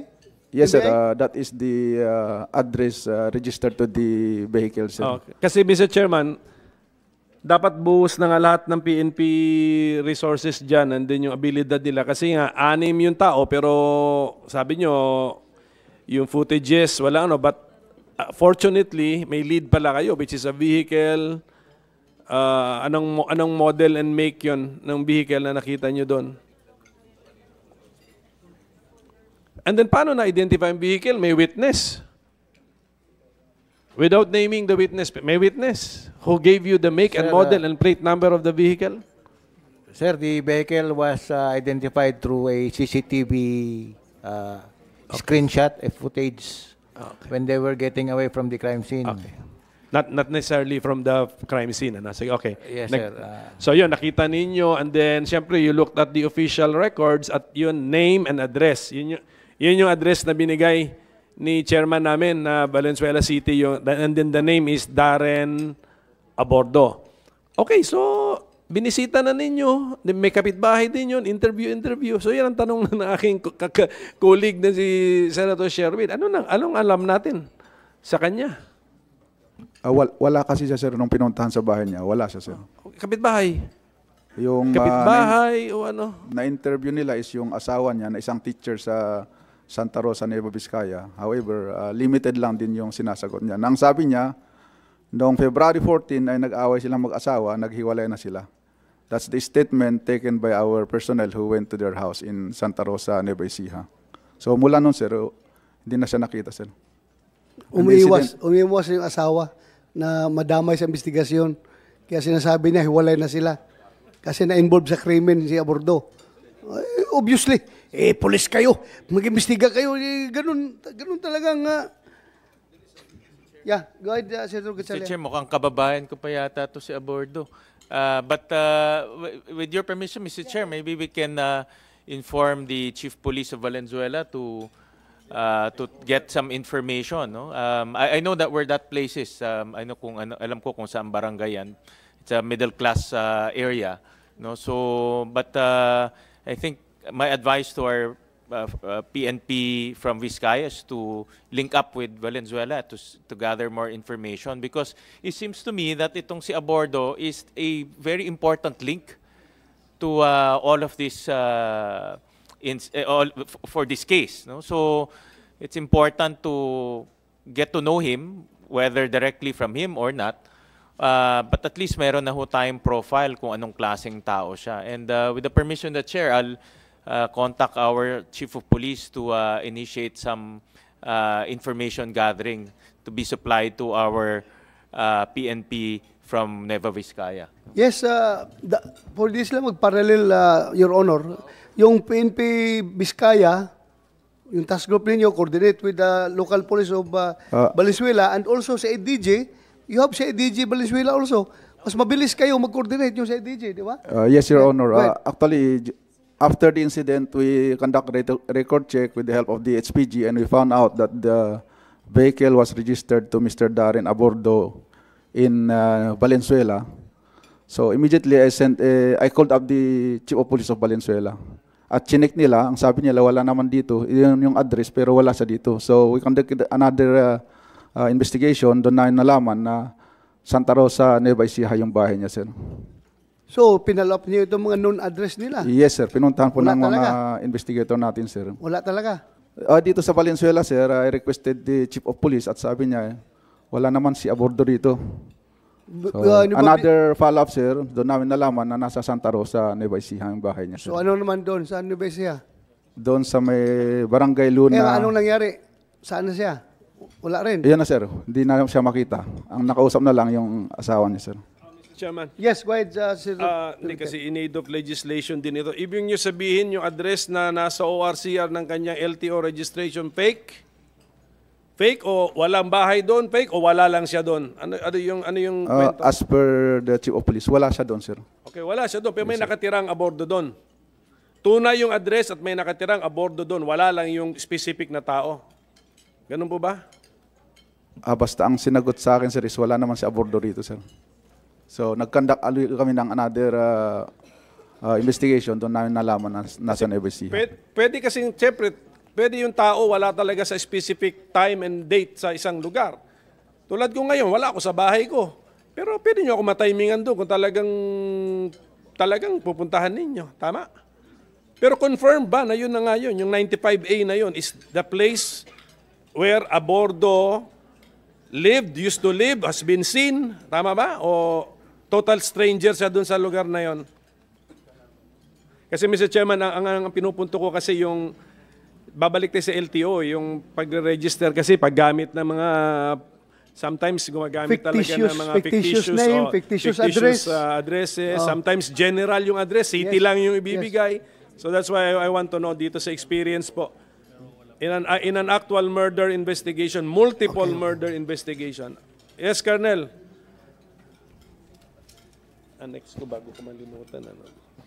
Okay, sir. Sir, according to the COP of Solano na pumunta sa Valenzuela, work area niya yung nasa Valenzuela, sir. Work area. Oh, you see? Yes, sir. Mr. Oh, Mr. Chairman, so eh, kung totoo yung kwento na ng police, so employer's address yung ah, ginamit. Ano, okay. But do you at least have a picture of this abordo?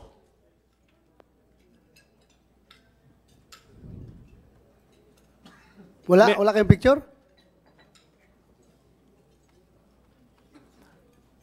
Kasi Meron, para, sir. para Eh, alam pahanap nat- lang namin, sir. Ah, meron. Yes, meron sir. kayong picture. Baka, Mr. Chairman, pwede natin pakita ngayon kay Mr. Denix de Guzman yung picture. Kung yung ba yung picture nung kanyang tinatawag na bilas, ang tawag doon. Ayun. Who is, oh, madali siguro ma- ma- masabi, ah, ito, ito ba ang asawa ng kapatid ng asawa mo? Yeah. Ayun yeah. yun eh. We will do that. Basically, oh. We will do that. Where's the picture? Pakikuha, Komsek. Pakihata, pakibigay dito.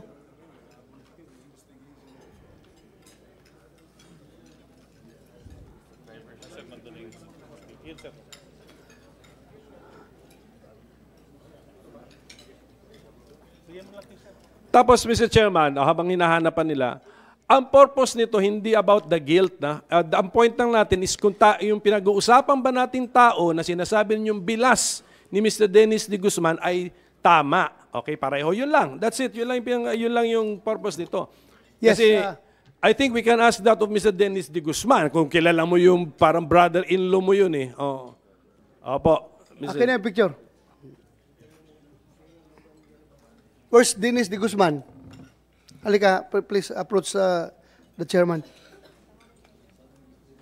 Ito din sa bordo.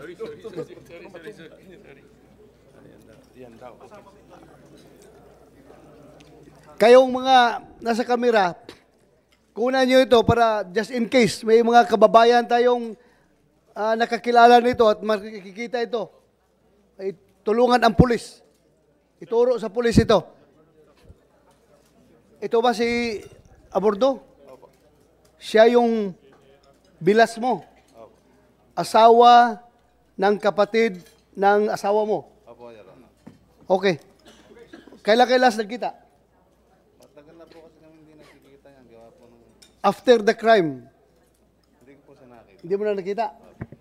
Before the crime? Tanda lang nga po, dahil Umuwi sa? Ah, taga Nubesia ka rin. Paano ka napunta doon kay Kwan? Kay... Chairman, Chairman, Yes. pa- ip- ipaupo muna lang si Di Guzman Okay, para sa mic, sa mic siya sumasagot. sige, sige. Anyway, nakita na po niya. Sige, pwede niyo pong ituloy po, Mr. Chairman. Sige, ah, kamera, tingnan nyo para kung sino man makapagbigay alam. Kung alam nyo kung nasaan ito si eh, Mr. Uh, full name niya Abordo? Darren Cruz Abordo. May-ari ng Mitsubishi Adventure na ginamit sa pagpaslang ng anim na tao. Palabas nyo ito para Baka may makapagbigay ng impormasyon kung nasaan na itong tao na ito. Is being wanted by the police to answer all the charges against him. Kailangan, kinakailangan siya makita ng kapulisan para magbigay linaw sa kaso na kinasasangkutan niya kung saan yung kanyang sasakyan ay ginamit ng mga assailants, ng mga gun for hire na pumatay nung anim na biktima. Thank you. Nakuha nyo? Thank you. How about uh, Mr. Oh, ibalik mo yun. Mr. Abilino Ponce Zambrana Jr., the registered owner of the red Toyota Hilux Conquest. Opo, uh, paupuin nyo. Hanapan nyo. Eh, diyan ka lang, diyan ka lang, ma'am. Dito na, sa CIDG.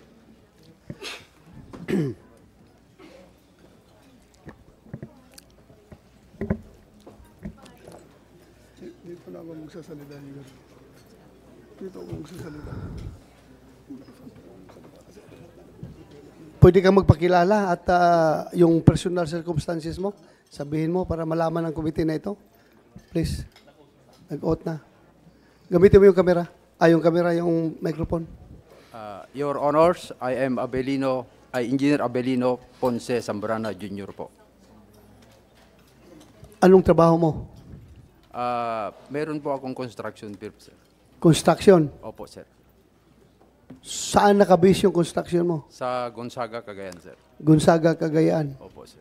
Involved ka ba ng mga project sa munisipyo ng Apare? Uh, meron an award sa akin noon 2019-2020, sir. Dalawang projects? Tatlo, sir. Tatlo. Opo, sir. So personally kakilala mo si Mayor Chan ng ah, personally kilala mo siya? Kakilala mo siya? Opo, opo, sir. Gaano kadalas kayo nagkikita? Noong 2019-2020 lang, sir, kami, ako pumupunta sa office nila. sir. Pupunta ka doon? Opo, sir. Ilang bisis ka pupunta? Mga 4 to 5 siguro, sir. 4 to 5. So sa sa salungat yan sa sinabi ni Mayor na once lang kayo nagkita daw at hindi kayo personally magkakilala. Ay, di, sir. Eh, Mayor, sinabi mo Mayor, di ba? Hindi mo siya kakilala at ah, isang bisis lang kayo nagkita nung nang inaward yung ah, project sa kanya? Yun po yung maalala ko noon, sir. Kasi pinakilala lang po ni Romel Jose niya noon, sir. Yun ang problema ngayon kasi si Romel Lucena ay missing. Hindi na makita. Now, balikan kita. Balikan kita. Inamin mo sa pulis na ikaw ang may-ari ng red na Toyota Hilux na nakita ng pulis na pabuntot-buntot at nagbumonitor before the crime ha, ginamit na yung pick-up na yan na nagsusurveillance, nagkikasing kay, kay dating Vice Mayor. At during the crime mismo, during the commission of the crime, before before the plug ng checkpoint si yung grupo ni Vice Mayor, nakita rin yung sasakyan mo na nakatail doon sa sasakyan ni Mayor. Sinong gumamit ng sasakyan na yun? Romel Jose niya, sir. Bakit ah, alam mo na siya ang gumamit? Paano Sir, nangyari? Hiniram niya sa akin yung sasakyan, sir. Anong purpose? Sinabi niya. Eh, ang sabi niya, sir, may pupunta sa Kawayan Isabela, may titignan na uh, quad, sir. Bakit ah, napakalakas ni Hosinya sa iyo at pinahiram mo yung pick up mo sa kanya? Ah, kaibigan ko kasi, sir. Aside from kaibigan, Kapitbahay, sir. Kapitbahay. Opo, sir. So, very close kayo. Opo, Kaibigan, kapitbahay, at may nasabi pa dito last, during the last hearing na siya ang kumukonta kay Mayor para makakuha ka ng project. Yung lisensya daw ng kumpanya mo, construction firm mo, yun ang ginamit ni Husenia para makakuha ng project doon kay doon sa munisipyo ng Apare. Hindi Is that po, true? sir. Hindi po, sir. Kasi ako mismo ang gumawa yung mga project, sir. O ikaw pala mismo. Opo, sir. So ikaw ang nakakontrata sa Apare. Opo, sir. Sa LGU Apari, sir. LGU Apare. Opo, sir. Pero 2019, 2020 lang, sir. 2019, 2020. Opo, sir. So mali yung sinabi mo, Mayor, nasabi mo, si Husenia yung uh, nakakunik ito dahil si Husenia ang ah, lumalapit sa iyo. Siya pala talaga ang nag, kumukuha ng project. Pero si. Romel Hosenia po ang nagpakilala sa kanya, sir.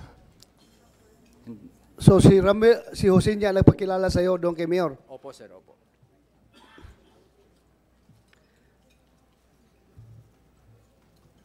Anong sinabi niya? Nagagamitan niya sa sasakyan mo?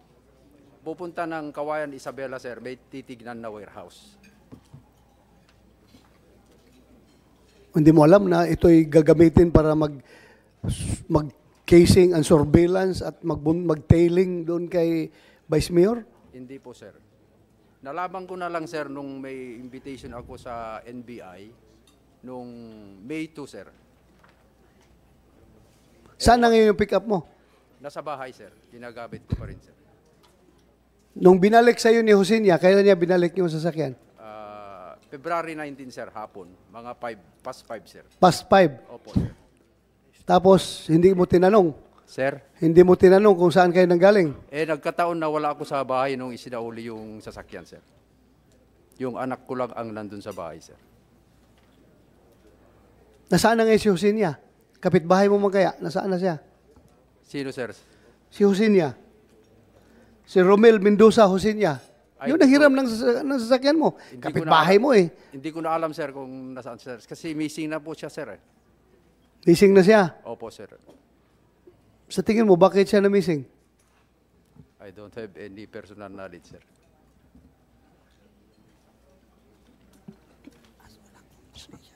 Sigurado ka na hindi mo alam ang plano ni Husenia sa paggamit ng sasakyan mo na ito'y gagamitin sa pag ah, mamanman kay Vice Mayor? Wala po talaga, sir. Wala ka talagang alam. Opo, sir. Wala talaga po, sir. Your Honor. Yes, uh, go ahead. Gusto ko lang pong itanong kay ah, Engineer Sambrana, Your Honor, kung nung humiram po si Romel Osenia ng sasakyan sa kanya, may kasama po ba siya noon? Tama. Wala May po, sir. kasama. Wala, wala. Walang kasama? Wala po, sir. Kasi So, wala. sa in- yeah. Wala. Your Honor, sa info po kasi namin is ah, may kasama po siyang nag-tail doon sa sasakyan ni Vice. So, ah, yung isa po is nandito po siya. Sino? Yung si Fred, si Ha? Freddy Molina po. Freddy Molina. Saan si Freddy Molina? Yung, gamitin mo yung microphone. Totoo ba nakasama ka ni Hosenia na sumakay doon sa pick-up na hiniram niya kay Abilino Sambrana at kayo'y nag sinusundan ninyo yung van na sinakyan ng mga biktima? Hindi po, Your Honor. So nasaan ka noong panahon na yon? Sa bahay lang po nila, Mayor po, Mayor. Bahay ni Mayor? Opo. Sigurado ka? Opo, sir. Hindi ka kasama doon sa pick-up, ha? Hindi po, sir. Sino makapagsabi na nandun ka sa bahay ni Mayor? Mga magulang po ni Mayor, sir. Ha? Mga magulang po ni Mayor, sir. Bakit hindi si Mayor mismo? Kasi umaten po sila ng, ano, ng mayor dito sa Manila po. Kaya naiwan na po ako lagi sa bahay. Kaya naiwan ka dahil nandun ka sa pick-up, nakasakay ka sa pick-up. Ah, hindi po. Naiwan po ako sa bahay kasi ako yung naiisa lang na may bantay po doon. Aside sa parents ni Mayor, sino pang witness mo na masasabi mo na nakakita sa'yo na nandun ka lang, hindi ka sumakay sa pick-up? Yung katulong po nila. Katulong nila. Opo. Sinong binabantayan mo doon? Wala naman si Mayor doon. Di ba, bodyguard ka ni Mayor? So dapat kasama ka ni Mayor sa Manila. Dahil bu- bumiyahe si Mayor sa Manila. Eh bakit nagpaiwan ka doon sa bahay? Dahil may iba ka misyon. Ah, wala po, kasi wala pong kasamang ano nila doon. Tapos sinasabi po ni Mayor sa akin na sa bahay lang po ako magbantay. Ano? Sa bahay po ako magbantay, sir, kasi wala pong kasamang ano doon, mga magulang. Tayo yung, yung pananag, yung sagot mo na yan, sigurado ko hindi makapasar sa lie detector test yan eh. Matagal akong pulis, matagal akong nag-imbestiga. The manner that you're answering, hindi makapasayan sa polygraphic test.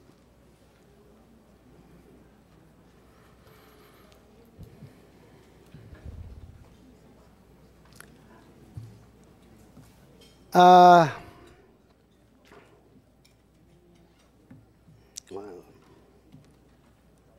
PNP, any news about Hosinia after our last hearing, sabi niyo missing, si Abordo missing, any news, kung may report man lang kayo, anong progress report ninyo? Anong progress report ninyo doon sa dalawa? Imposibleng walang progress report.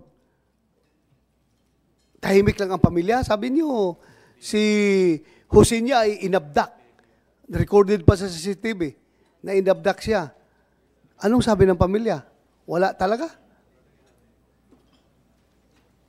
Uh, Your Honor, I am not sure because I am from PD of Neo Vizcaya. Okay, yeah, I Taga know Cagayan that. si ano, sir. I know that, I know Yes, that. Pero Uh, kayo nga may hawak ng kaso dahil Negat- nasa inyo ang crime scene eh. Nasa Negative, sir. Biskaya. Negative, Negative, sir. Even uh, abordo, wala pa kaming info dahil isa rin siya na binabantayan namin para maimbita namin. PD, ah, sa DJ, may update kayo? Nasaan na?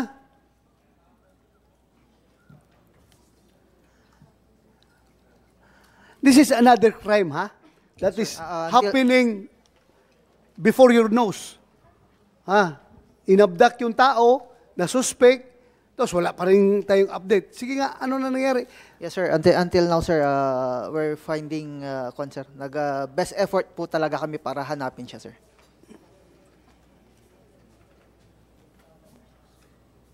Dalawang tao missing ang pinag-usapan natin dito, ha? Da- Dalawang additional crime that uh, you have to you have to investigate kung nasaan na ito sila. Otherwise, mayroong impunity dyan sa lugar nyo na itong mga kriminal, gawa na lang gawa ng krimen at kayo, walang, nangya, walang nagagawa. Walang nangyayari sa investigation nyo. There's impunity happening in your area. I-abduct na yung tao, yung tao na suspect. Ngayon, hindi na malukit. Yung may-ari ng sasakyan, missing na naman. Ga- ga- gaano ka-powerful yung mga tao behind all these crimes? Bakit ganun na lang na hindi nyo matrace-trace? Ha? Utang ko akong PD, akong mag-imbestiga doon. Hanap ako ng paraan, ha? Klaruhin ko lang sa inyo, natatakot ba kayo sa mga persons of interest dito? Oh no, alam ko hindi kayo natatakot. Trabaho niyo yan. Kaya please, magpakita kayo ng mga effort. Priority ninyo ito. Oh, magsige lang tayo ganun-ganun dito, ganun-ganun, tapos walang nangyayari. Ha? We, we need results, we need results. Ha? Mawawalan tayong credibilidad dito pag hindi natin masolve itong krimen na ito. Nadagdagan pa ng dalawang additional crimes. Missing si Abordo, missing si, Sam, si Hosinia, na they are very vital to the resolution of this case. Very, uh, Gen- General Birong, you are the RD. You exhaust all your uh, uh, available means and your available resources para masolve itong kaso na ito. Sir, si Jose niya, ah, i-check pa namin maigi, sir, kung talagang merong case of abduction or kung ano man talaga nangyari sa kanya. Hindi pa natin masabi kung may crime pa na nangyari Well, against ah, him. So, yun pa titingnan natin. Baka mamaya, ano, may mislead tayo kung may mga ganitong sinasabi na. Yung dating Arto. Alamin muna namin, sir, maigi. Oh yeah, yung dating Arto. Sabi niyo nakita niyo sa CCTV na inabduct si Hosinia. Can you can you enlighten this committee about that incident? Meron kaming nakita sir sa balita sir. Nakita na, actually napanood namin sir. So merong ah, abduction sir na, na ano sir. Pero nag-validate kami sir during that time. Nag-backtrack kami sir together with the ah, provincial director of Cagayan sir. It found out sir na walang identity yung mga sasakyan sir. So Wala, regardless of the identity, the act of abduction, did it transpire? Based on your nakita sa CCTV, ikaw, pulis ka. Yes, sir. Nakita mo yung CCTV. Was there an act of uh, abduction? Action? Meron sir kasi uh, meron. Meron sir. Kasi possibly taken siya. Ano niya sir eh? Ah, hinihila siya sir. Hinihila, nag-release siya. Yes sir. Tapos, sinakay sir sa sakyan sir. Sinakay sa sakyan? Yes sir. Hindi na-identify yung mga mukha ng mga naka, naka ano sila sir? Naka-bonnet sir. Naka-bonnet? Sir. Kasi that, sa anong lugar ito? Eh, Pre sir, pre. Eh, si Papulsa ka na eh. Gonzaga sir, Gonzaga. Gonzaga. Gonzaga. Papulit Gonzaga. Napaka-peaceful itong mga lugar na ito. Gonzaga, si Papulis. Sana. Wala dito? Wala. Dili sa Trinity. Province. Basta-basta na lang kukunin yung tao. Ina-abduct. Tapos ngayon, walang, walang, walang, walang trace. Kung nasaan na. Paano ba ito? Yes, uh, yeah, yung pinag-usapan ninyo yung CCTV footage, ang nakita nyo, uh, Colonel, na biktima doon is si Oksenia. Oksenia, sir. Oksenia. Sir. Yun po. Sarado yun. Sa, yung, yung sinabi ni Chairman na nagre-resist, that is the Osenia that we're talking about. Yes, sir. Romel Osenia. Yes, sir. Okay, sige. Apparently, this Oksenia was abducted because of his involvement. Yung nalaman na yung nakita na yung pick-up, na trace na yung pick-up na pula, na pinagmamaari ni Mr. Zambrana, na hiniram ni Rosenia na ginamit niya, I, I presume, siya ang gumamit doon ng detail. Nakikita sa CCTV, through investigation, nakikita na sunod sa sasakyan ng mga ng van na sinakyan ng mga biktima. Ngayon, wala si Rosenia. Nawala ba si Rosenia after na bilabig na yung, yung uh, kanya involved sa pick up na pula? Before that pa. After sir ng uh, incident sir na kay sir yung uh, nawala sir yung van. Ano nangyari sir yung uh, pagkakita ko sa sir? Kasunod ba? Anong date na yung uh, boss? Yes, sir. February 19. Yung nakita mong uh, CCTV footage, anong date yun? Check yung sir. Uh, March? March 27. March 27. March 27 daw, March 27. Yes, sir. 19 to 27. That's uh, more or less 8 days. March, sir, March. Sa February 19, tapos March 27 siya inabdak. So, Sir Bruce, natapos na yung investigation nito about the red pick-up. Malaman natin, nagbulamog ba ito na si Lucinia ang gumamit to pick up na hiniram niya kay Zambrana. So yun na, kaya siya wala, kaya siya inabdak. Silence him. Di pag nakuha si Lucinia, pero ni Lucinia yung ganun. Yung, uh, mastermind, si Bowser. So most likely, yung mastermind pa rin ang nagpapa-abdak kay Lucinia, si Bowser. So, ito mas nagmamit, very powerful. It's very resourceful, sir. You can do don't crimes, sir. You can do, it's able to avoid. After, sir, after the ambush, sir, uh, Director, uh, Director, sir, advice ko yan, sir, conduct uh, backtracking in the CCTV. Conduct, uh, sir, yung saan, yung galing, sir, si Mayor. So, minuvyo namin, sir, lahat ang CCTV um, kung kailan, anong oras lumabas si Vice Mayor sir sa bahay nila, before that, we'll do that, sir.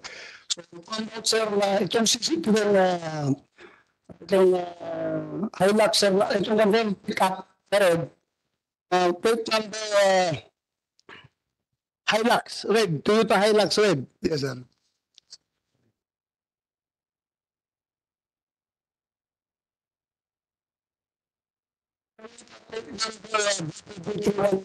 Sir. Sir sa kanya. So, kaya natin na pala, sir, yung um, YCRM, na ito na, sir, si Sir uh, Sambrana. Yes, sir. So, accurate sir ito, um, uh, upon, uh, pagabag, sir, talagang binubuntutan na ito. So, doon tayo, sir, nag, uh, ano, sir, nakakuha, sir, ng information. Yes, sir. Talagang binabitawan na rin. Yeah. Crime scene, nasundan? Yes, sir. Sinusundan niya. Kaya, yun lang pag time sir, ah, wala na sila, sir, kasi wala nang, wala nang CCTV. Pagdating, sir, sa, uh, ano, sir, balabag. Medyo, ano na yan, sir. Mga tulong, sir, wala sir. Yes, sir. So, apparently, isang pick up na nag-detail, ito ang nagko-communicate doon sa mga... Sir, sir, sa mga sir, nandun sir. Dito, ready na kayo dyan. sir. Na kayo, dyan yung pagkakas. Eh, dami lang. Alam mo, Mr. Zambrana, ah, napakalaking papel ng pick up mo dito sa krimen na ito. Kaya, uh, nagpipilit ka ng gusto sa lahat ng ah, impormasyon na pwede mo i-share sa amin. Kagaya ng kasama ni Upsinya, paghinap ng sasakyan, sino yung kasama niya. At apparently, kasama yung ah, isang bodyguard ni Mayor. Mo ba nakita doon yung uh, sinasabi kanina ng bodyguard ni Mayor? Ganito yung kapila. Hindi po, Ayaw yung microphone. hindi po, sir. Siguro nakita. Hindi po, sir. Isa lang siya, nagpunta sa'yo. Opo, sir. Kasi sa Gonzaga naman kinuha yung sasakyan, sir. Sa Gonzaga. Opo, sir. Saan siya nagpaalam sa'yo? Sa Gonzaga rin, sir. Doon yung bahay mo sa Gonzaga? Uh, opo, sir. Kinuha niya, siya lang talaga isa? Pag isa lang siya sa... Kasi nagkataon na... Kasi true, true call lang, sir, nung hiramin niya yung sasakyan ko, sir. At true call. Opo, sir. Tumawag sa'yo. Opo, sir. So, saan ka pala nun? Sa project site po ako, sir. Sa? Ah, February 18 nung hiramin niya yung sasakyan ko, sir. So, February 18, ginagawa na niya. Opo, sir. 10 o'clock in the morning, sir. Meron kayo picture ng niya? Pakita natin sa publiko. Na natilingan kayo. Na malukit kung saan ito susunya. Picture yung siya.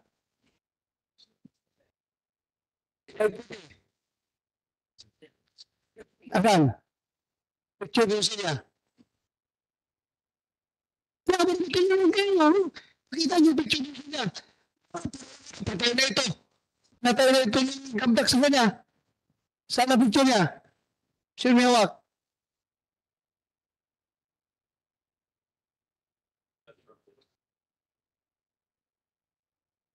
Okay na. Ba, pakibala dito. Kumsik. Ah.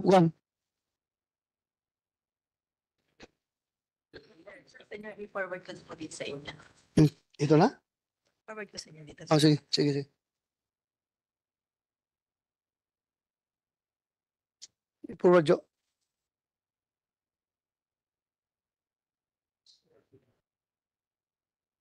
Sir, while we're looking for the picture, Yes, sir, I, I can, uh, gusto ko lang itanong, sino naman to si Josenia? Ano yung kanyang background? The same question. Anong, Dapat kaya ni Sembran. oo. Oo. Ano bang background ni uh, Josena? Businessman, sir. Ano ba? Businessman, sir. Businessman. Anong negosyo niya? Ah, meron siyang ah, pwesto sa palengke namin sa Gonzaga, sir. Yung Sa Gon- magandaan ng mga plastic, sir, mga Ano siya? Taga Gonzaga siya? eh, He's a resident of Gonzaga. resident na po ng Gonzaga, sir. And he's a businessman Opo, sir. engaged in uh, plastic recycling. Sab- Tama po ba? Opo, sir. Yung mga nagtitinda pa, sir, ng mga Plastic? Hindi, mga chair, sir, na plastic, ganun, sir. Ah, na black chair. Monoblock Nagbebenta ng... uh, ano pa mga negosyo niya? Yun lang ang alam ko, sir. Yun lang alam nyo. And then magkapit bahay ho kayo. Opo, sir. Okay. And uh, meron ba ho kayong business relations kayong dalawa? Wala po, sir. Wala, hindi ho kayo magkamag-anak? Hindi Walang rin po, ano, sir. bilas o ano?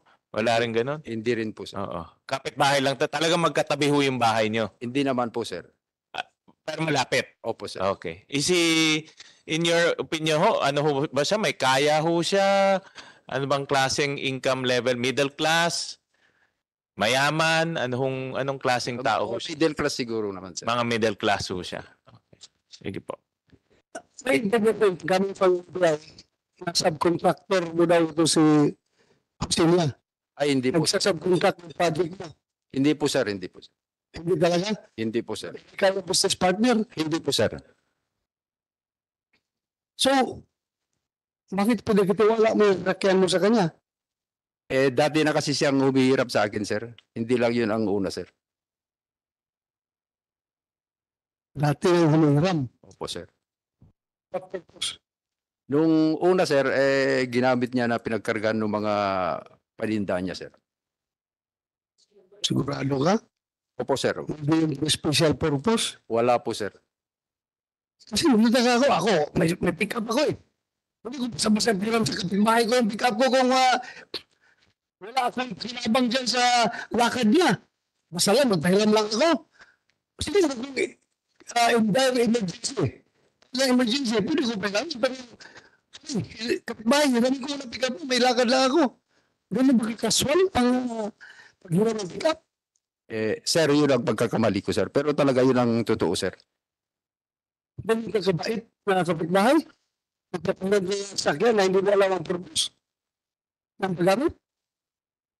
Sina Alam, mamaya, alam mo yung lakad niya at nag-cover up ka lang. Eh, morning nyo, Wala po talaga akong alam, sir. wala kang alam sa gagawing krimen yung niya. Opo, sir. Wala talaga. So ito ba susi niya? Ano? Ito ba yung kapitbahay mo? Ay, opo, sir. Opo. Siya si Romel Hosenya po. Romel Sinya. O media, tulungan niyo PNP. Ano? Pakita niyo ito mukha niyo siya kasi missing ito ngayon. Abducted daw, abducted. Baka may makatulong sa atin mag, uh, makapaglukit nito. Ito yung may nakasakay sa pick-up. Program ng pick-up, nagdinamit pag-turn doon sa sasakyan ng mga biktima bago inambos. Yes, sir. Go ahead, Senator Gatsalan. To, to Mr. uh, Zambrana, anong, as pagkaalam niya, anong connection niya kay Vice Mayor Alameda? Sino po, sir? Si Mr. Josena. Anong connection niyo ho niya? Ay, Sa wala, pagkaalam niyo? wala po akong... Wala ho kayong, di ba niya ka- ka-transaksyon? May, ala- anong relasyon niya? May, kung may, re- may alam ba kayong relasyon I have no... niya sa personal Vice knowledge, sir. Mayor? Wala ho kayong alam? Wala, sir. Oh, yeah. Pe- ah, sa alam niyo ho, meron ba ho siyang ibang negosyong hindi maayos? Let's say, mga hindi magagandang negosyo? Wala naman po, sir. Wala kayong ah, alam na gano'n? Wala po, sir. Oo. Your Honor. Ma- Ma'am, mas- may tanong lang po ako kay Mrs. Zambrana. First time niyo humiram ng, ng Toyota Hilux mo? Ng vehicle, si Mr. Osenya? Hindi, sir. Pangalawa na po yun, sir. First, ang, ang iniram niya, yung, yun, yun mismong sasakyan o iba-iba rin pinapahiram mo? Iba, sir. Iba yung nauna, sir. Okay. Kino-confirm mo na, hindi mo na nakikita si Mr. Osenya ngayon? Ay, hindi na po, sir. Alam mo yung insidenteng parang uh, nakidnap siya, ad- abduction, alam mo? Alam ko rin, sir. Okay. Worried ka sa kanya. Oo naman, sir. Sino kayo katal- ang gano'n kayo kalapit na magkaibigan? Ku- Kumpare? Hindi, ah, hindi naman, sir. Basta magkaibigan lang kami. Kasi, okay, hindi yung hindi yung madalas kayo magkita, hindi, hindi naman, sir. Hindi naman. Okay, pameds. So mga ilang beses sumiram ng sasakyan? Pangalawa na po yun, sir. Pangalawa lang. Opo, sir. Ah, okay, so hindi hindi ganun kadalas yun, ano? Pangalawa lang. Sige. Mr. Chairman, meron yatang si Mi- may Ma'am Isa Isadel Alameda. Yes, Your Honor. Bali, in connection po sa sinasabi ni Sir Abelino Zambrana tungkol kay Mr. Romelo sa inya. Ang alam ko po namin, kay Mayor po close si Romelo sa inya kasi bali si Romelo sa inya po ay na-point ni Mayor Chan na director ng nawasan ng apari in spite ng sa taga Gonzaga po siya nakatira, sa Gonzaga nakatira na niyo. Classmate is classmate. Classmate din po ni and best friend ni Mayor Chan si Mr. Romel Jose niya. And Your Honor, borrowing from the words of Mayor Brian and Mayor, uh, Mayor Brian San po, sinabi po niya nung last session na contractor yan po si Romel Osenya. At alam ko din po, in-appoint po yan na board of director ng Nawasa sa Apari po.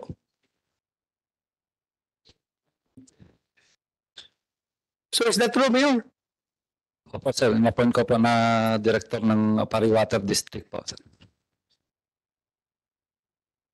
So may connection.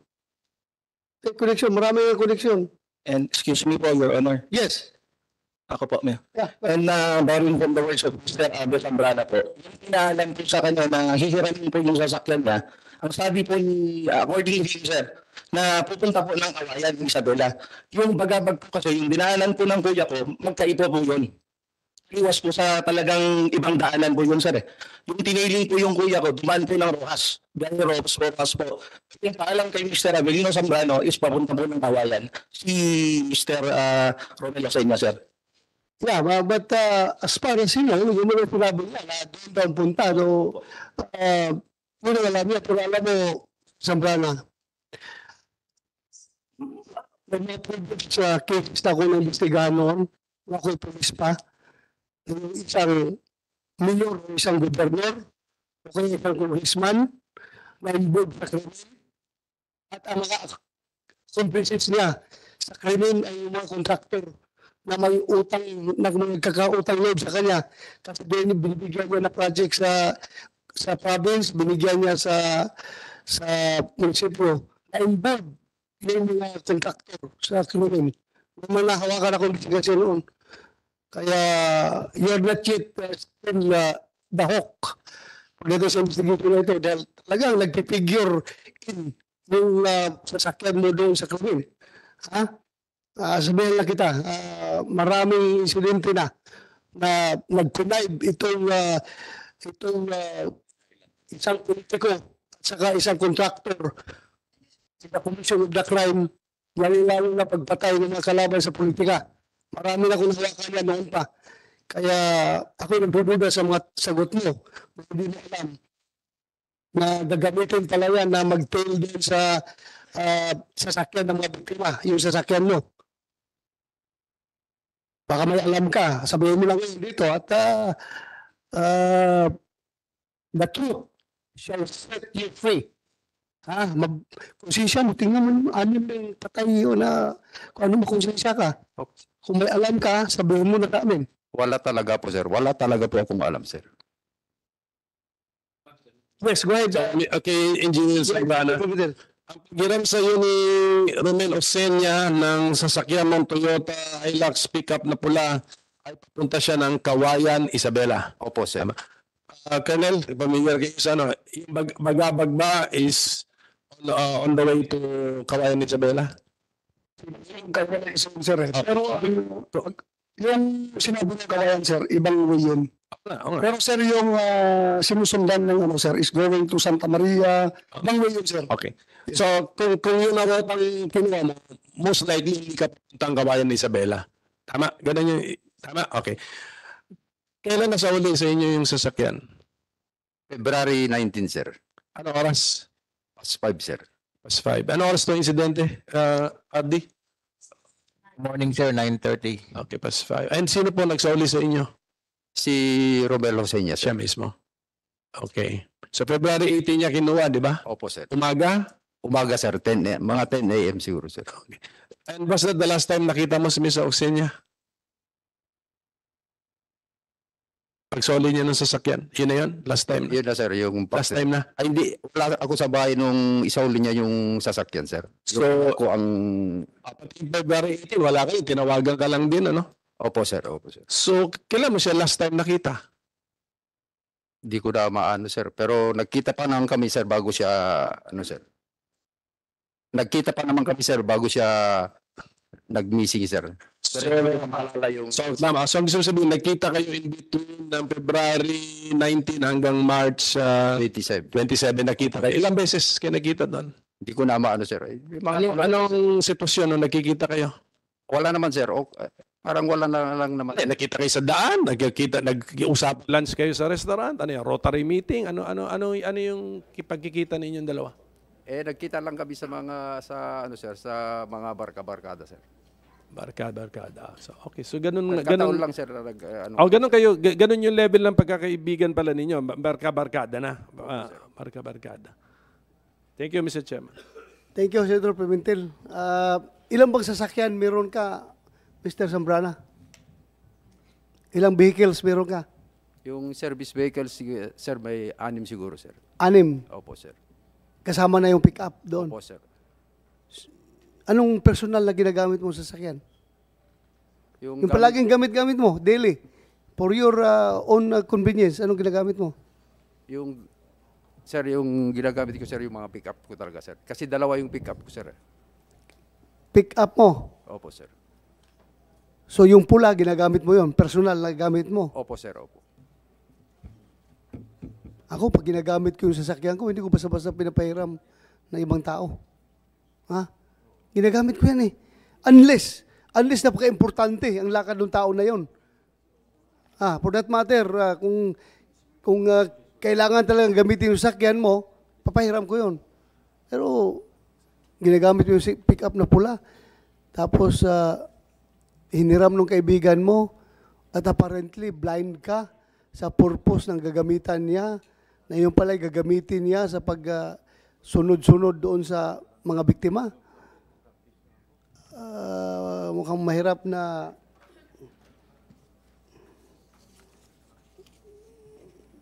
mahirap paniwalaan. Mahirap paniwalaan. Mahirap paniwalaan.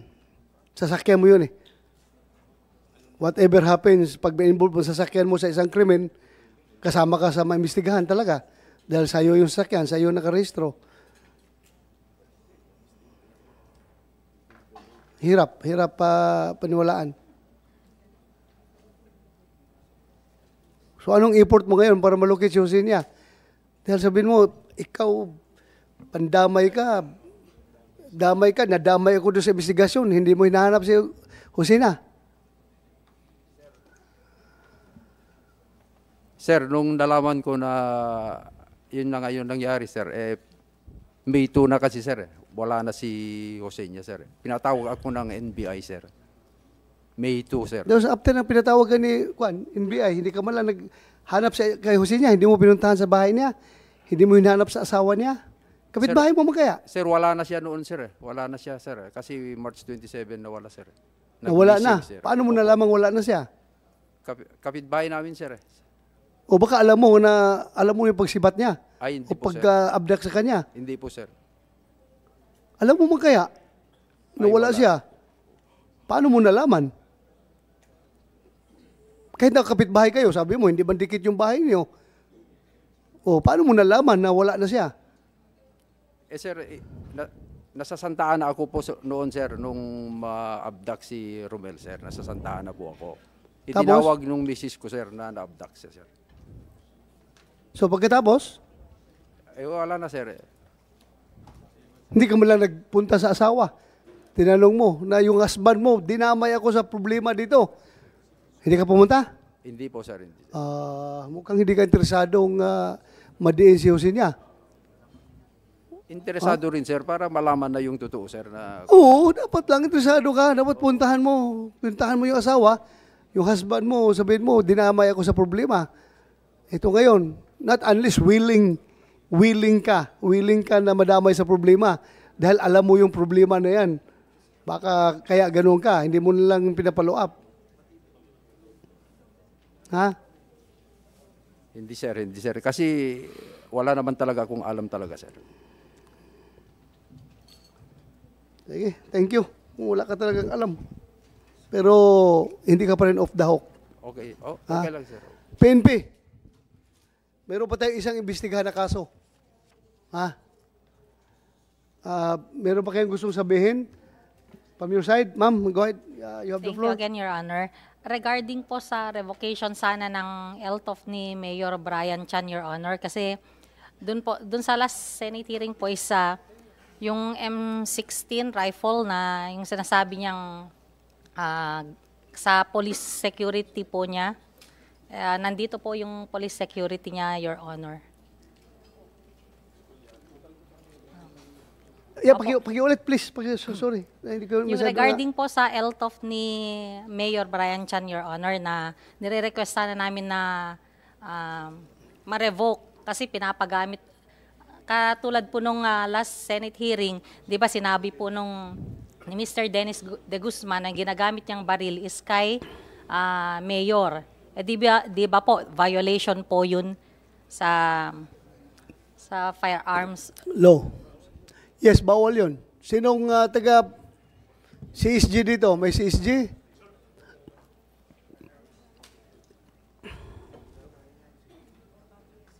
Yung armas ng isang ah, licensee. Saan ka sign? Saan ka sign? Ha? Good morning, Your Honor, sir. Regional Civil Security Unit 2, sir. Two. Yes, sir. Region Oh, 2, sir. Yung armas ng isang licensee, pinapagamit sa ibang tao. Is there a violation of law there? Yes, sir, because uh, the licensee is uh, not responsible gun owner, gu- gun holder, sir. So, So- we will, uh, if there is uh, investigation report, sir, coming from the uh, Proto SITG, sir, uh, we will uh, endorse it to the chief FEO, sir. Uh, th- there was a board, sir, in the Firearms Explosive Office, which is the Firearms Loss Restoration and Revocation Board, sir. we- Revocation board. Yes, sir. Okay. Sa You- Firearms Explosive Officer. You, you refer that uh, case to them. Yes, sir, yes, sir. Gawan nyo ng report. Ha? Meron na. So you follow up with the CSG. What happens? Sa FAO. Ha? Yes, sir, we will endorse it to the FEO, sir. Thank you. Yes, uh, go ahead po. Uh, you are? Attorney Jasmine Ah, yes, Navarro. yes, yes, sir. Yes. Yes, ma'am, go ahead. Uh, good afternoon, Mr. Chair. Good afternoon, Your Honors. The Commission on Human Rights is conducting a parallel investigation on this case, and we are looking into the human rights dimension of it. So we found that there is a human rights violation on a violation on the right to life, and as well as there is a culture of impunity, because this crime was uh, done in broad daylight, and after a month after, there was this. Uh, abduction that happened to the vital witnesses. Uh, For the information of this August body, Your Honors, there were department uh, circulars issued by DOJ, which will altogether change the landscape of how we investigate, considering we are also an investigative body. Because what is required now is reasonable certainty of conviction. Hindi na ho siya yung probable cause lang. So tumaas na po yung standard. So nakikinig ho kami ngayon dito sa mga witnesses natin. So kung may hindi ho kaigting yung ating mga ebidensyang ipipresentar sa ating sa, sa prosecution, eh baka ho ma-dismiss lang din. So dapat siguro as investigative bodies, just as a, a- a recommendation, Your Honors, eh talagang paigtingin ho natin yung ating pag-iimbestiga. Just like the Commission on Human Rights, we would want our reports also to have a prosecution-ready report. And under Department Order Circular 20 po, yung ating mga prosecutors will have now a proactive stance. So they can, uh, the, the law enforcement agency or any investigative body for that matter, the, the, the families of the victims, kung gusto ho nilang makipag-ugnayan para magkaroon po ng case build-up, pwede po under this uh, department uh, circular. So mag-iiba po talaga kung paano yung pag-iimbestiga po natin ngayon. So talagang dapat masusi yung gagawing investigasyon para talagang if we would want really these perpetrators to go to the bar of justice po. Marami pong salamat. Thank you, ma'am. Attorney Regino of the Human Rights. Alam mo, I, I, I, feel for the PNP. Although, pinipressure ko sila, nabilisan nila ang trabaho nila, at sila naman ay nag-iingat din, nagdandahan sa kailang gagawin kasi sabi mo nga, certainty of uh, conviction dapat ang magiging standard natin when we say it is an airtight case. Uh, yun ang gagawin natin, di ba? So, naintindihan ko rin yung PNP. But then again, you cannot stop this committee na talagang uh, in, in, in exercise of our oversight function, gusto natin talaga mabigyan ng hustisya, kaya pinipressure natin sila sa trabaho nila. in the same manner, naintindihan ko rin, eh, dyan ako galing eh. Alam ko kung kaano kahirap ah, mag-imbestiga ng kaso, lalong-lalo na pag mabibigat, malalaking tao yung involved. Ah, hindi ka basta-basta makakuha talaga ng ebidensya. Kaya, naintindihan ko kung bakit sila nagbabagal-bagal. Pero again, babagal man kayo, basta huwag niyong tulugan. Ha? Huwag niyong tulugan. You, you want to say something, ma'am, from uh, DOJ about the, yung, uh, ano yun, uh, DOJ circular? Yes, pa, can you enlighten this committee para Yes, Mr. uh, Chair. ma- malaman itong kapulisan natin na they have somebody to turn to. Hindi yung sila lang ang uh, nag-iisang nag-imbestiga dito. Katuwang pala nila dito ang Commission on Human Rights at the DOJ. ang DOJ ay katulong rin nila. Hindi man, pareho man kayo na sa executive branch of government. Sabi ko nga noon na ang treatment kasi sa amin ng mga prosecutor ng DOJ ay para din sila mga judge Yes. na kuhan sila, separate sila from uh, us. Sa Amerika, nagtutulong-tulungan yung uh, prosecutor at ang investigator. Di ba? Para gaganda ang kaso. Pero dito, parang feeling ko noon, nung ako'y pulis pa, para bang ibang level yung prosecutor. Para bang, uh, para silang uh, hindi co-equal. Uh, for all we know, we are equal uh, uh, pillars of the criminal justice system. The police, prosecution, courts, correction, community. Di ba? Isang pillar dyan ang hindi mag-cooperate. Walang criminal justice na ma-achieve. So magtutulong-tulungan tayo dito. So yes ma'am, uh, you have the floor. Yes, Mr. Chair, we confirm the existence, the effectivity of DC number 20, wherein the prosecutors are allowed to uh, coordinate and to um, play an active role in the case build-up. Uh, it is also mentioned in the resolution um, dated June 20, 2023 about DC-20. There are recommendations mentioned in the resolution in respect of the multiple murder case uh, issued by the um, Office of the Provincial Prosecutor of Nueva Vizcaya. So, um,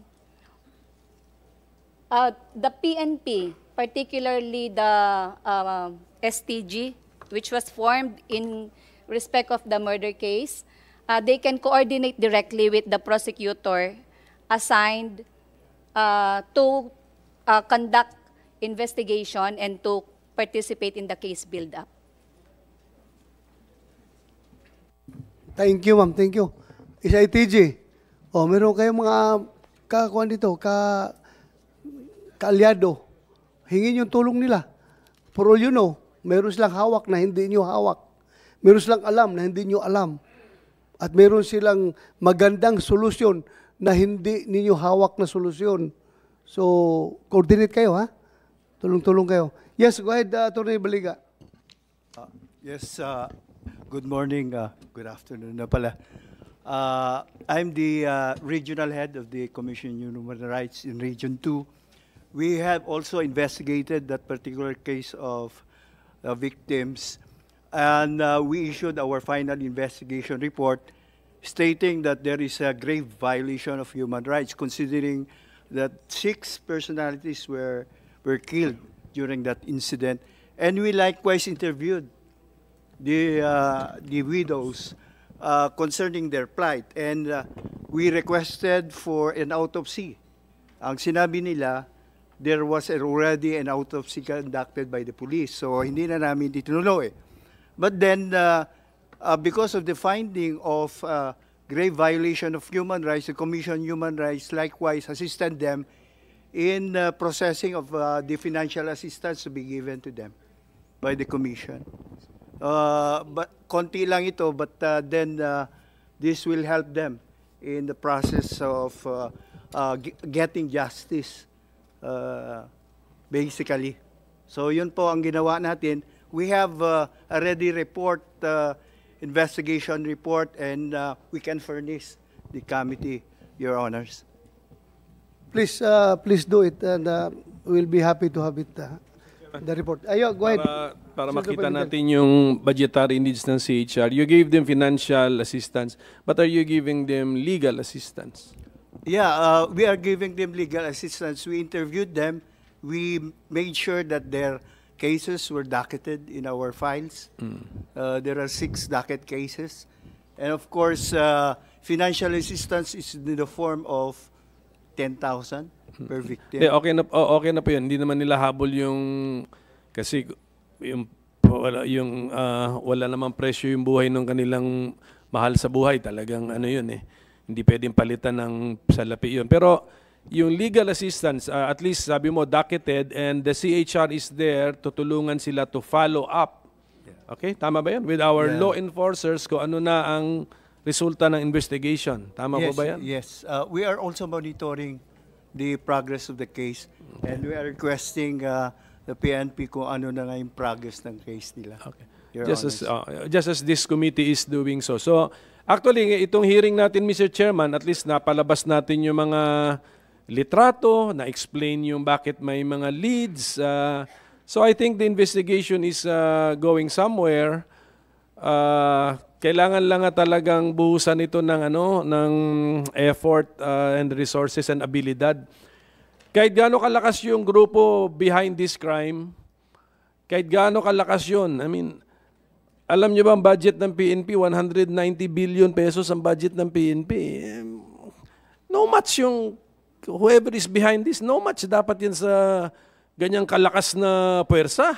Ah, ah, Mr. Chairman, that should be... na- At saka, this reminds me, Mr. Chairman, of the investigation na natin din on the Pogo-related disappearances. Eh.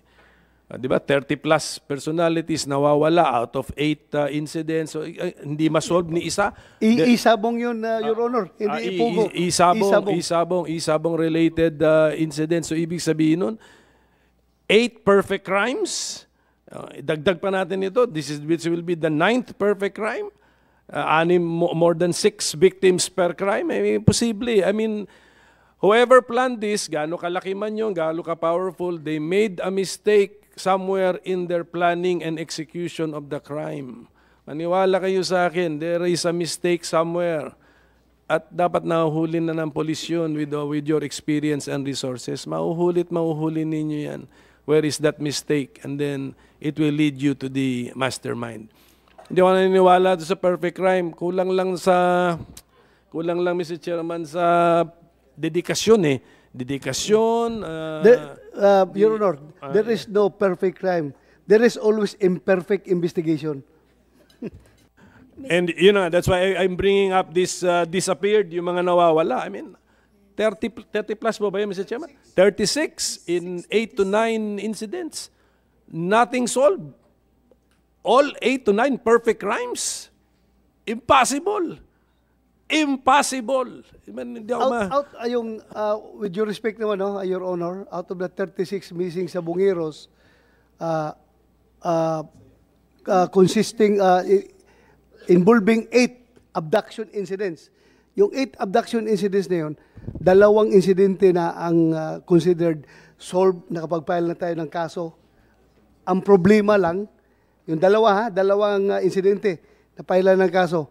Ang problema lang, may balita ako, dandahan na nag, uh, wi- nag uh, retract yung mga complainant dahil nga siguro baka sobrang yaman nung isabong uh, na involved, daming pera, baka kaya nang nabayaran. Kaya, I don't know, I still have to get an update coming from uh, the PNP as far as this investigation is concerned. point is, kunyari sa walo, we have two na filean. We have six, still six na walang, there's no theory, there's no lead, there's no, no, suspects. Impossible. para sa akin, it's impossible. That is impossible. Kaya, okay lang, I mean, uh, buhusan nyo pa po ng more, more effort, more time, more imagination, and ultimately, you will crack this case. At uh, nakikita ko naman may, may progress na tayo when we ask for pictures, names, addresses na bibigay naman po ng ating uh, kapulisan, Mr. Chairman. Thank you, uh, Senator Pimentel. Uh, you have uh, the uh, floor, yes, Attorney uh, Reyno. Uh, Mr. Chair, Your Honors, in response to the query of uh, Senator Coco, we also provide what we call strategic litigation. So if let's strategic litigation, so we can now represent clients, Your Honor. So if uh, the widows can uh, request the Commission on Human Rights to represent them as well, and also we also provide what we call the witness protection program. For, for those who are under threat, there is an issue on their security. They can also request the Commission on Human Rights, Your Honor, through our regional office, of course. Ah, thank you, Attorney. Ah, alam niyo po, ah, ako mismo, I am aggressively ah, ah, ah, fighting for the increase of your ah, budget. Ako mismo ang nagde-defend ng budget ninyo. I'm not sure this this time around kung ako pa rin mag-defend pero I've been ah, advocating for your for the increase of your budget kahit na in mas in my past profession palagi kong nakalaban yung human rights pagdating sa mga kaso-kaso. Pero walang problema yan. Ah, trabaho nyo yan. Trabaho namin ito. So, nagtutulungan tayo dito ngayon para sa masolve itong kaso na ito. Ah, I'm not sure kung ako pa rin, pero mukhang baka hindi na, baka iba nang binigyan. Oo, oh, binigay na kay Senator Jinggoy.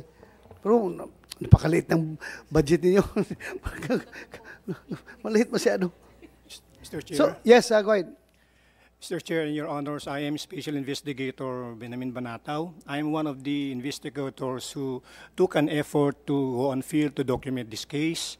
And we likewise coordinated with the provincial director, and the records can bear me out that we have letters pertaining to the case, to the Bagabag PNP, to the provincial director of, of Skaya.